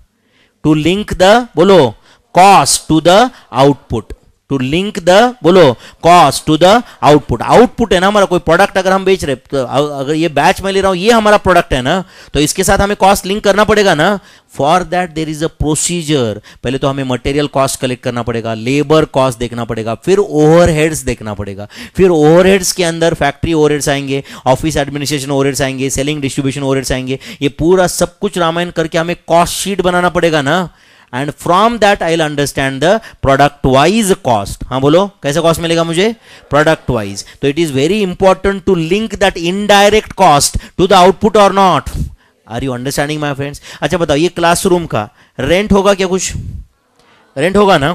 अच्छा स्टाफ का स्टाफ का सैलरी कॉमन इलेक्ट्रिसिटी बिल अच्छा बताओ बच्चों, हमारे यहाँ पे ना बच्चों, ये मैं पढ़ा रहा हूँ सो अभी इमीडिएटली इसके बाद अकाउंट्स का लेक्चर होगा, उसके बाद लॉ का लेक्चर होगा टैक्स का। यहाँ पे तो बहुत सारे दिन भर ये बैचेस होंगे ना। अब बताओ, ये जो कॉस्ट है, ये हम कैसे शेयर करते रहेंगे फिर? या हम सब लोग प्रॉफिट और इक्वली बांट के लेते क्या साथ लोग? नहीं होगा ना, हर एक का रेवेन्यू अलग अलग है, हर एक का कॉस्ट अलग अलग होगा। होगा कि नहीं? तो आप बताओ बच्चों, ये कॉस्ट हम कैसे डिवाइड करते फिर? आप कैसे डिवाइड करते इसके लिए पूरा कॉस्टिंग पढ़ना है हमें। इतना आसानी से ये हो सकता था। तो ऑब्वियसली साढ़े तीन महीने का बैच थोड़ी होता। Is it right or not हमें we have to collect the cost we have to classify the cost we have to allocate the cost we have to apportion the cost we have to reapportion the cost and then these products has to absorb the cost product has to absorb the cost अभी कुछ नहीं समझ रहा है तो भी ध्यान देना पड़ेगा आपको। यही मैं बोल रहा था थोड़ी देर पहले। समझाया नहीं आपको अब क्योंकि ये क्या है, ये तो मैं आपको प्रैक्टिकल के थ्रू बताऊँगा ना। एक एक दो दो घंटा एक एक कंसेप्ट पे आपको बैठ के बताऊँगा ना, फिर उसके बाद। Correct or not but to link these to our output we have to collect the cost we have to classify the cost correct or not we have to allocate we have to apportion reapportion and then the products will absorb this cost correct or not तो detail में जाना पड़ेगा ना मैं आगे are you understanding this समझ में आ रहा है तो आप बताओ बच्चों I am happy with this overall picture but आप बताओ अगर हम प्रोडक्ट वाइज प्रॉफिटेबिलिटी फाइंड करते तो ए का सेल्स कितना था देख रहे हैं हम लोग one lakh twenty five thousand B का कितना था? बोलो सेवेंटी फाइव थाउज़ेंड सी का कितना है? फिफ्टी थाउज़ेंड कॉस्ट भी तीनों को अलग अलग दिख रहा है। एंड समझो, मैंने सिर्फ़ प्रोडक्ट ए डिलीट कर दिया होता एंड बी एंड सी में कंटिन्यू करता तो मेरा टोटल रेवेन्यू कितना होता? One lakh twenty five thousand होता। Total revenue one lakh twenty five thousand होता। टोटल कॉस्ट कितना होता? सेवेंटी थाउज़ेंड तो one lakh twenty five thousand minus seventy thousand कितना होता प्रॉफिट फिफ्टी फाइव थाउज़ेंड मेरा प्रॉफिट होता। फिफ्टी फाइव थाउज़ेंड होता कि नहीं? Fifty five thousand profit in sale of one lakh twenty five thousand only तो करो कैलसी पे वन लैख हाँ बोलो। आ, करो सेवन कितना प्रॉफिट होता मेरा? फिफ्टी फाइव थाउज़ेंड ना? तो fifty five thousand divided by one lakh twenty five thousand fifty five thousand divided by one lakh twenty five thousand into hundred forty four percent तो I would have made forty four percent profit on sales ना?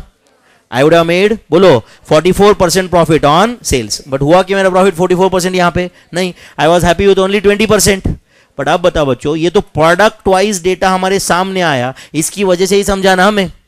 इसकी वजह से ही समझा कि नहीं? Are you understanding my friends अब simple मैं कोई बहुत बड़ा आदमी नहीं हूँ भाई, बहुत बड़े बड़े बिजनेसमैन है बट मेरे लिए भी कुछ वेंचर्स है। फॉर एग्ज़ाम्पल ओके मेरा एक फर्म है परसेप्ट जिसमें मैं I am the proprietor at the same time I am the director in Expert Professional Academy Private Limited I am the owner of branches of V R S Vinod Reddy study centre इसके तीन जगह पे library है पुणे में। आप समझ रहे हो क्या? तो इसके, उसके ऊपर और मेरे कुछ इन्वेस्टमेंट सोर्सेस से इनकम रहेगा। आप बताओ बच्चों, ये सबका रेवेन्यू राइट सबका सबसे मुझे कितना आ रहा है रेवेन्यू सबका करस्पॉन्डिंग कॉस्ट प्रॉफिटेबिलिटी मैंने अलग अलग फाइन करना ज़रूरी है, या ये क्लब करूँ सब में? अब मेरा जो विनोद रेड्डी, मैं जब अपना रिटर्न ऑफ़ इनकम भर रहा हूँ, तब मैं क्या कर रहा हूँ? Income from this business income from Percept income from VRAC ये सब क्लब करके, बाद में एक्सपेंडिचर डिडक्ट करके, ये जो भी कुछ है, मेरा इनकम टैक्स रिटर्न फाइनलाइज कर रहा हूँ। बट आप बताओ बच्चों, मुझे ये सब कुछ इंडिविजुअली पता होना ज़रूरी है कि नहीं? कौन सा वेंचर मुझे कितना प्रॉफिट दे रहा है? अदरवाइज़ पता चला कि ये Vinod Reddy study centre loss में जा रहा है, और मुझे तो पता भी नहीं। सर लॉस में जा रहा है, आपको पैसा पता कैसे नहीं चलेगा? अरे भाई, मैंने सेपरेट अकाउंट ही नहीं देखा सेपरेट कॉस्ट ही नहीं देखा वहाँ पे। कई सारे ऐसे लोग हैं जो मैंने एम्प्लॉय बोल के रख दिया। उसको मैं दोपहर में वी में काम पे भेज देता हूँ, सुबह सुबह वो परसेंट में काम करता है। अब बता बच्चों, दोनों का अकाउंटिंग तो मुझे अलग अलग करना पड़ेगा ना? यस और नो भले मैं सैलरी उसको फोर्टीन थाउज़ेंड दे रहा हूँ पर मंथ फोर्टीन थाउज़ेंड दे रहा हूँ बट फोर्टीन थाउज़ेंड का क्या अलोकेशन होगा? देखना पड़ेगा ना मुझे? अब क्या लोकेशन होगा? Even that is dependent on work he has done time he has spend तो ये सब रिकॉर्ड्स मेंटेन करना पड़ेगा ना मुझे? ये तो मेरे सारे, ये मेरे, मैं यहाँ पे प्रोपराइटर था बोल के। अब बताओ, उसमें अलग पार्टनरशिप है, इसमें अलग अलग पार्टनरशिप है तो definitely right that allocation will become more important or not allocation will become बोलो मोर इंपॉर्टेंट सीधी सी बात है, ये मान लो एक बड़ा कंपनी टाटा मोटर्स मान लो 2000 एकड़ का राइट प्रीमाइसिस है 2000 एकड़, यहाँ पे फैक्ट्री सात आठ गेट है समझो राइट अंदर ये प्रोडक्शन ऑफ़िस है सेल्स ऑफ़िस है, बहुत सारे अलग अलग जगह, यहाँ यहाँ पे प्रोडक्शन फ्लोर है, इधर एक मान लो टाटा सुमो बनती है टाटा नैनो बनती है, समझ रहे क्या? यहाँ पे टाटा नैनो बन रही है, अब बताओ बच्चों टाटा नैनो के कॉस्ट में यहाँ पे खड़ा हो जो वॉचमैन है, उसके सैलरी का भी कुछ पोर्शन जाना चाहिए। बाहर एक बड़ा होर्डिंग लगा हुआ है, उस पर रणबीर कपूर का फ़ोटो है। रणबीर कपूर के साथ तीन करोड़ का कॉन्ट्रैक्ट है और रणबीर कपूर को जो तीन करोड़ दिए, उसका भी कुछ कॉस्ट नैनो में जाना चाहिए। करेक्ट और नॉट वहाँ पे क्या डायरेक्ट ऐसा आएगा कि फिर टाटा नैनो में रणबीर कपूर को इतना? ऐसा होगा क्या? सीधी सी बात है there is a cost or not there is a cost तो वो आपको प्रोडक्शन के साथ लिंक करना पड़ेगा ना? Correct casual in a layman's understanding क्या होता है? मोस्ट ऑफ़ द टाइम्स जैसे कि, अब सिंपल इंसिडेंस बताता हूँ, इसको कोई अदरवाइज़ मत लेना। मैं, मेरी मम्मी को लेके एक बार फाइव स्टार होटल में गए। कहाँ गए फाइव स्टार होटल को गए। राइट टिपिकल मम्मी सबकी, तुम्हारी जैसी मम्मी होती है, वैसे ही होते हैं सबकी। समझ रहे हैं ना? तो गया उधर और एक पंजाबी डिश ऑर्डर कर दिया। जो भी खाना मंगवाया, बहुत अच्छे से। बहुत अच्छा इन्वायरमेंट था, वहाँ पे आप समझ रहे हो ना? जाते ही राइट वैले पार्किंग एक ड्राइवर आया, लेके गया, वो बोला कि सर, मैं कार आते जब आऊँगा तो ये पूरी कार भी आपकी वॉश की हुई रहेगी। आप समझ रहे हो क्या? बहुत बढ़िया। फिर वहाँ पे बहुत बड़ा झूमर था, वहाँ पे बड़ा बड़ा ग्रैंड एंट्री वहाँ पे थोड़ा दो पाँच दस मिनट सोफा पे बैठे वहाँ पे, उसके बाद में स्विमिंग पूल के बाजू में खाना, ये सब इन्वायरमेंट समझ रहा है आपको ये?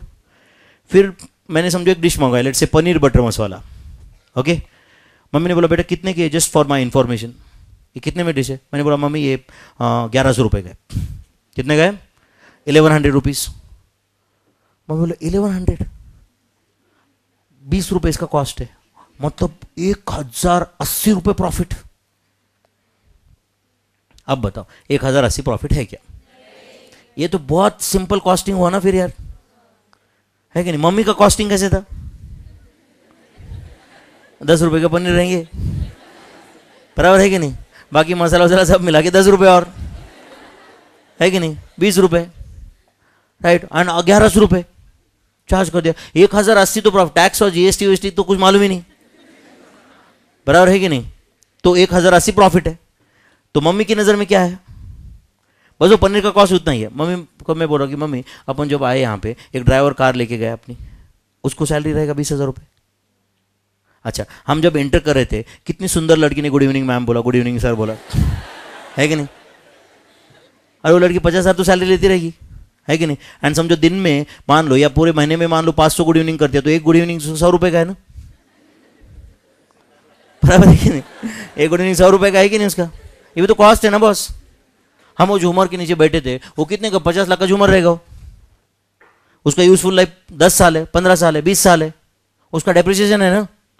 ये स्विमिंग पूल है, देखो इतना, इसका maintenance correct or not above that ये प्रॉपर्टी पुणे के प्राइम एरिया में सिचुएटेड है, उसने लिया रहेगा 400 करोड़ में। उसका cost of finance are an number of cost or not हम मोस्ट ऑफ़ द टाइम जैसे कि तुम बैठ के करते रहोगे, अरे विनोद, कितना पैसा कमाता रहेगा यार? है कि नहीं? 700 आज का इनकम है इंटू देखो, अरे यार, एक बैच में कमा रहे थे एक आध करोड़ है कि नहीं? अच्छा मैं ये नहीं बोल रहा हूँ कि भाई हम कोई लॉस में बट बट जितना तुम सोच रहे हो, उतना भी नहीं है भाई। करेक्ट और नॉट तुम तुम हमारा प्रॉफिट नहीं बता रहे हो, हमारा रेवेन्यू बता रहे हो। उसके अंदर कॉस्ट भी होता है कुछ। ये हॉल का सिर्फ़ एक महीने का डेढ़ लाख रुपए लाइट बिल आता है। आप समझ रहे हो कि नहीं? ये सब मिला के। आर यू अंडरस्टैंडिंग दिस कुछ कॉस्ट भी होते कि नहीं हमारे लिए? जनरली स्टूडेंट के एंगल से क्या है? बराबर है कि नहीं? बस सब कुछ जो भी कुछ है, बस रेवेन्यू रेवेन्यू है। रेवेन्यू मतलब ही प्रॉफिट है। जनरली क्या होता है? लोगों का लोगों का रेवेन्यू मतलब प्रॉफिट एंड अपने लिए प्रॉफिट मतलब प्रॉफिट समझता है ना? लोगों grass is always green on other side हमें दूसरे के बिज़नेस का क्या दिखता है सिर्फ़? रेवेन्यू मतलब ही प्रॉफिट एंड अपना बिज़नेस बहुत खर्चे है यार, तुम्हें रेवेन्यू दिख रहा है, तुम्हें क्या बताऊँ? बहुत खर्चे बहुत प्रॉब्लम्स है इसमें। बट दूसरे the moment it comes to others what happens उसका रेवेन्यू मतलब भी profit but the cost aspect has to be seen or not cost aspect has to be seen or not समझ में आ रहा है कि आपको ये? तो whether you understood the difference between cost, value and price? Whether you understood the difference between cost, value and price? तो अलग अलग टाइप्स ऑफ़ कॉस्ट हमें सीखना है फिर. समझ रहा है? तो इसमें हम कल स्टार्ट करेंगे. अभी आप सबको, आपको हिंट देके देखता हूँ कुछ टाइम है इसलिए. क्लासिफिकेशन ऑफ़ कॉस्ट कौन सा, हम क्वेश्चन देखने वाले अभी लिखो मत कुछ. कल वापस लिख के देता हूँ मैं. Classification of cost there are nine ground for classifying कल मैं वापस लिख के दूँगा, सिर्फ़ ध्यान दो यहाँ पे। Classification of cost there are how many grounds nine ground for classifying the cost उसमें से पहला ग्राउंड मैं बताता हूँ आपको। There is a payment based classification कौन सा? Payment based classification and payment based classification है एक्सप्लिसिट कॉस्ट एंड हाँ बोलो। इम्प्लिसिट कॉस्ट ये सुना होगा आपने कभी? Explicit cost can also be called as out of pocket cost कौन सा cost or it can also be called as accounting cost और implicit cost can also be called as imputed cost or opportunity cost or hidden cost और notional cost hidden cost और notional cost तो ये एक ground हुआ। ऐसे nine grounds पे cost classify होता है। वो नाइन ग्राउंड्स एक एक एक एक करके हम देखेंगे। तो पहला ग्राउंड कौन सा है बोलो? कल मैं आपको एक चार्ट भी बना के दूँगा इसका। हाँ बोलो। कौन सा है पहला? पेमेंट बेस्ड क्लासिफिकेशन कौन सा है बोलो? Explicit cost and implicit explicit implicit बोलो अदरवाइज़ नोन एज छोड़ो।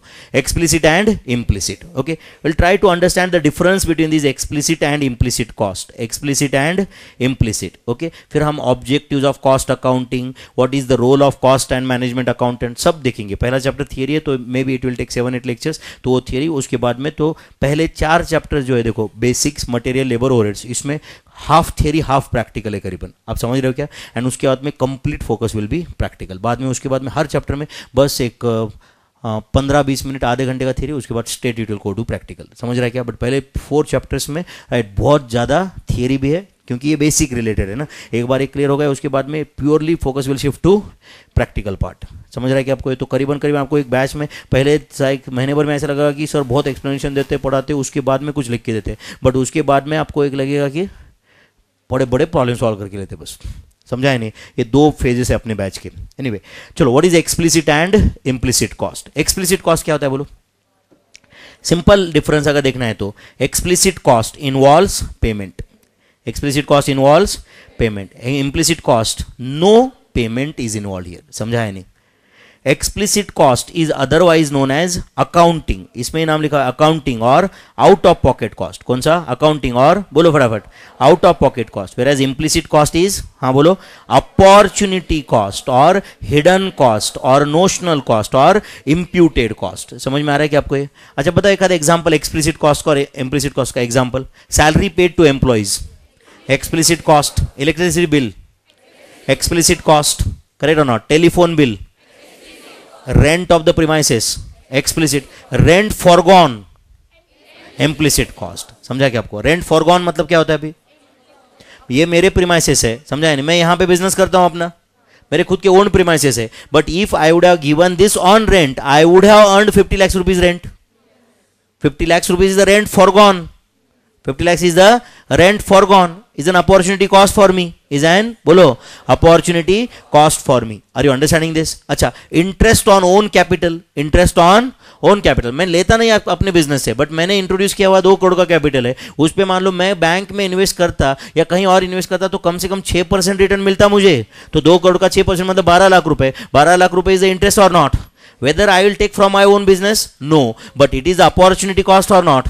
It is opportunity cost for my business if you treat vinod reddy and vinod reddy's business as two different concepts correct or not two different things then definitely there is an opportunity cost for vinod reddy's business or not there is interest on own capital समझ रहे हैं या समझो मेरे office में ही लेटर से मेरी वाइफ आके काम करती है समझो एंड उसको मैं कोई सैलरी वगैरह पे नहीं कर रहा हूँ आप समझ रहे हो क्या बट अगर वो वही सर्विसेज़ वही काम कहीं और करती किसी दूसरे ऑफ़िस में करती तो she would have got fifty thousand rupees per month she have got 50000 per month. So 50000 rupees per month is an opportunity cost of, right, putting her in my office or not.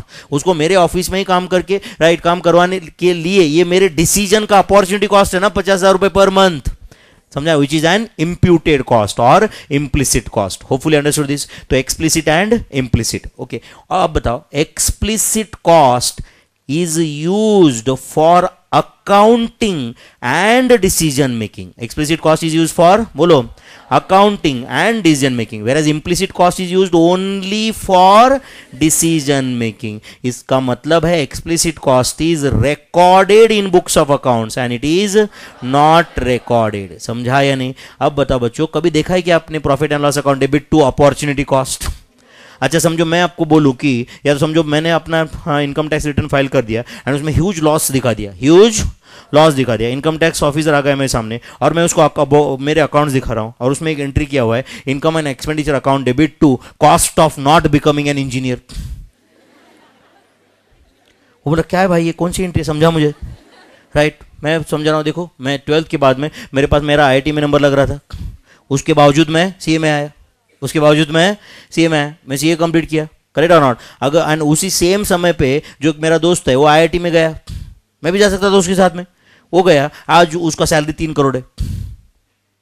तो if I would have been at that place I would have earned three crore तो it's opportunity cost वो बोलेगा, भाई, तेरा opportunity cost सिर्फ़ decision making के लिए रहने दे। अकाउंट्स में मतला अकाउंट्स में मतलब you cannot bring it in accounts you cannot record these costs you cannot bolo record these costs you can use it only for decision making decision making ke liye theek hai but you cannot use it for accounting so explicit cost is recorded implicit cost is not recorded explicit cost can be objectively determined can be बोलो objectively determined as it involve payment as it involve payment whereas implicit cost is subjective in nature as it is based on everybody's estimation for example अब सुनो, ये classroom मेरा owned है, ये rent पे देता तो मुझे कितना पैसा मिलता? अब बताओ बच्चों, ये तो मेरा इस्टीमेट हुआ ना। करेक्ट और नॉट ये मैं रेंट पे देता। अगर मैं ये तुम्हारा बैच छोड़ के और कुछ करता सेम समय पे तो मैं कितना पैसा कमाता? ये तो मेरा एस्टिमेट है ना? करेक्ट और इसमें कोई पेमेंट इन्वॉल्व नहीं है तो it is based on my estimates तो it is subjective in nature or not it is बोलो सब्जेक्टिव इज़ नेचर समझो, मुझे कोई आज एक मेरा दोस्त मिल गया समझो, जो सी ए प्रैक्टिस कर रहा है पुणे में, और वो बोला कि विनोद तेरे जैसे एम्प्लॉय का मुझे काम है यार. ओके तेरे जैसा थोड़ा एनालिटिकल माइंडेड अगर इंसान रहा ना तो मेरा बहुत सारा काम टाइम बच सकता है. मैं बहुत सारे बड़े प्रोजेक्ट पे काम कर रहा हूँ. प्रोजेक्ट फाइनेंस का काम है मेरे पास. प्रोजेक्ट रिपोर्ट बनाना है. तो तू मेरे ऑफ़िस में आके काम कर सकता है क्या? मैं बोला, करूँगा, क्यों नहीं? वो बोला कि, सुबह सात से नौ आना पड़ेगा हर रोज. सुबह सात से नौ. एंड तुझे एक महीने का मैं बीस लाख रुपए सैलरी दूँगा. एक महीने का कितना सैलरी दूँगा? बीस लाख रुपए सैलरी दूँगा अब बताओ, बीस लाख रुपए forgone is the cost of conducting your batch is a बोलो cost of conducting your batch can I bring it in books of accounts can I record it तो where it should be used where it should be use only for decision making only for decision making तो cost accounting data plus some other cost right should be use for decision making or not real life question की बात करना है तो समझो, कल जाके तुम्हें तुम्हें घर पे कोई बोल रहा है कि, या घर पे डिस्कशन चल रहा है कि, चलो यार, कौन सी कार बाय करना चाहिए? कौन सी कार बाय करना चाहिए? It involve costing decision or not it involve costing decision or not समझो ये इस बच्चे के घर पे उन्होंने फाइनलाइज किया कि latest they are going to buy a Honda City they are going to buy a Honda City इसके पापा बोल रहे होंडा सिटी डीजल बाय करेंगे. जबकि इसका भाई बोल रहा है कि होंडा सिटी पेट्रोल बाय करेंगे. Whether to go for a petrol car or diesel car decision decision है कि नहीं? जिसमें कौन हेल्प करेगा? Cost accounting will help or not costing will help or not what will help बोलो. Costing will help or not are you understanding this कल जाके company को डिसीज़न लेना है कि whether to continue or whether to shut down whether to continue or shut down who will help cost accounting cost accounting data cost accounting techniques cost and management techniques will help them or not are you understand whether to make the raw material or buy the raw material whether to make the raw material or buy the raw material toss karke thodi decision लेंगे आप समझ रहे हो क्या मैं क्या बोल रहा हूँ? समझो कल जाके होंडा में डिसीज़न मेकिंग है उनको। राइट होंडा के पास डिसीज़न लेना है कि होंडा सिटी के लिए whether we will make our own tyres for the cars और whether we should buy the tyre directly from MRF और ब्रिस्टोन और लेट्स ए गुड ईयर ये इसमें से किसी से बाय करना है या we should make our own tyres क्या करेंगे? टॉस करेंगे क्या हो right cost accounting data will help or not समझ so there are so many objective of cost accounting कल मैं आपको लिख के भी दूँगा, ये धीरे धीरे एक एक क्वेश्चन का answer but there are some objective of cost accounting or not ऐसे तो नहीं होगा कि बस कोई भी डिसीज़न ऐसे ही इंस्टिंग से या सिक्स सेंस से लिया जा रहा है। आप समझ रहे इंस्टिंग से, नहीं नहीं नहीं, करते। ऐसा नहीं चलेगा ना बॉस राइट क्योंकि ये डिसीज़न में हज़ार करोड़, दो हज़ार करोड़, पाँच हज़ार करोड़ इन्वॉल्व है। तो decision has to be more systematic or not इसके लिए cost accounting will help you cost accounting will help you अरे सिंपल डिसीज़न भाई। तुमने राइट एक घर पे एक वॉशिंग मशीन बाय करना चाहिए या डायरेक्ट लॉन्ड्री वाले को कपड़े देके उससे धोके प्रेस करवा के लेना चाहिए। ये भी एक डिसीज़न है ना? ये भी एक, बोलो डिसीज़न है। Correct even in this decision costing is involve or not costing is involve कौन सा बाइक बाय करना चाहिए? इसमें भी कुछ ना, थोड़ा बहुत कॉस्टिंग इन्वॉल्व है या नहीं है? आर यू अंडरस्टैंडिंग तो cost accounting will help you in various aspect right for cost ascertainment for cost estimation for cost control cost reduction correct or not it will assist the management in various types of decision making correct or not sir जाइए ये तुम्हारे notes है। इसमें ये colour cover दिख रहा है आपको? दिख रहा है कि नहीं? अच्छा ये कलर कवर का प्रिंटिंग कॉस्ट रहेगा कुछ बीस रुपए पर बुक समझो, कितना? बीस रुपए पर बुक तो बीस रुपए पर बुक इंटू मान लो सात सौ स्टूडेंट कितना पैसे गए इसमें? फोर्टीन थाउज़ेंड रुपीज़ सिर्फ़ कवर प्रिंट करने के लिए। करेक्ट और नॉट अगर इसको मैं ब्लैक एंड व्हाइट कर दिया ना तो यही काम दस हज़ार में हो जाता। सॉरी एक हज़ार में हो जाता। तो चौदह हज़ार की जगह कितने गए? एक हज़ार। तो कितना पैसा सेव कर सकता था मैं? Thirteen thousand and thirteen thousand में तुम सबको एक दिन में पिज्जा खिला सकता था ना या वड़ा पाव खिला सकता था जम्बो वड़ा पाव? क्या ऑप्शन बेटर था? और सेकंड वाला ऑप्शन बेटर था क्या? इसको ब्लैक एंड व्हाइट करते एक वड़ा पाव आ जाता था। आपको लग रहा सर बेटर था? अच्छा मुझे बताओ, इसको ब्लैक एंड व्हाइट करके क्या इसकी यूटिलिटी कम हो जाती? इसकी क्या यूटिलिटी कम हो जाती, बताओ ना मुझे। कुछ भी यूटिलिटी कम नहीं होती, सिर्फ़ थोड़ा दिखता नहीं अच्छे से। आपको लगता कि नहीं यार, ये थोड़ा इकोनॉमी टाइप है। यूटिलिटी में कोई डिफरेंस था बताओ? यूटिलिटी में कोई डिफरेंस था क्या? इनफैक्ट इट बीन और अच्छा रहता ना यार ब्लैक एंड व्हाइट ये जो भी कुछ रहेगा, और अंडरलाइन करने के लिए ज़्यादा आसान है ना? पहले से उसमें कलर है, और एक कलर ऐड करने से बेटर है ना? समझ रहा है कि नहीं? यूटिलिटी वाइज कोई डिफरेंस है क्या, बताओ?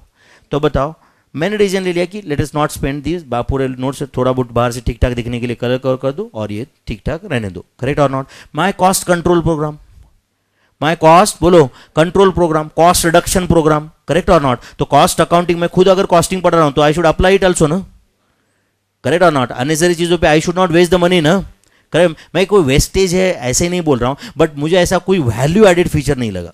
कोई वैल्यू एडेड फीचर नहीं लगा। आर यू अंडरस्टैंडिंग दिस समझ रहा है? तो there are various aspects in which cost accounting can help us और नॉट कौन से कौन से एस्पेक्ट्स होते हैं? कॉस्ट असरटेनमेंट में कॉस्ट इस्टीमेशन में कॉस्ट कंट्रोल में कॉस्ट रिडक्शन में। एंड एक सेंटेंस में बताना है तो cost accounting will assist the management in various decision making like make or buy decision continue or shut down decision optimum product pricing decision correct है? अब मैं छह सब्जेक्ट पढ़ाता हूँ सीपीटी से फाइनल समझो छह सब्जेक्ट पढ़ाता था मैं इनफैक्ट अभी दो सब्जेक्ट कम, छह सब्जेक्ट पढ़ाता था तो मुझे लगा कि नहीं यार, ये छह सब्जेक्ट में मैं twelve thirteen fourteen hours per day पढ़ाता, कई साल पढ़ाया ओके मुझे लगा कि नहीं यार I should give some more time to my daughter now okay and I want to reduce the time to from fourteen hours to let say nine hours nine hours per day तो कौन सा subject मैंने पढ़ाना छोड़ना चाहिए? Costing angle से diet and commercial angle से emotion नहीं। हाँ बोलो। तो मैं ऐसे छह चिट्टियाँ डालूँगा और कैच कर लूँगा दो। एंड दो जो कैच करूँगा वो सब्जेक्ट बंद ऐसा होगा क्या? क्या करना पड़ेगा मुझे? ये भी तो मैं टीचर हूँ तो मैं यही नॉलेज अपने डिसीज़न मेकिंग भी तो यूज़ करूँगा ना। छह सब्जेक्ट फाइंड करूँगा सेल्स फाइंड करूँगा उसका लास्ट ईयर का राइट वेरिएबल कॉस्ट फाइंड करूँगा कॉन्ट्रीब्यूशन फाइंड करूँगा कॉन्ट्रीब्यूशन पर आर फाइंड करूँगा सब्जेक्ट को रैंकिंग दे दूँगा, उसके हिसाब से मैं देखूँगा कितना टाइम अवेलेबल है, उसके हिसाब से रैंकिंग के हिसाब से वो सब्जेक्ट को टाइम दे दूँगा, बचे हुए सब्जेक्ट ड्रॉप कर दूँगा। यही कंपनी भी करते रहेंगे ना फिर they might be ranking for the products also और नॉट करेक्ट कहीं ना कहीं जो भी हम ये बुक में पढ़ने वाला है it will be use in actual business also और नॉट ऐसा तो नहीं है कि ये सिर्फ़ थेरोटिकल है। मैं अगर कोई बिज़नेस कर रहा हूँ यहाँ पे तो ये नॉलेज मैं अपने बिज़नेस में भी तो यूज़ कर ही रहा हूँ ना फिर। करेक्ट और not so there are various objective of cost accounting okay तो धीरे धीरे धीरे आगे और डिटेल में डिस्कशन करेंगे। आज पहला दिन है, आज कोई ओवर डोज नहीं करता तुम्हारे लिए। तो will stop here for the day and you please collect the notes after this immediately there will be accounts time class का टाइम क्या है? नाइन ट्वेंटी नाइन ट्वेंटी को अकाउंट्स का क्लास यहाँ पे होगा। कल सुबह शार्प सात बजे क्लास स्टार्ट करेंगे। इनफैक्ट पहले आओगे तो ज़्यादा बेटर है। Shall we stop here for the day thank you very much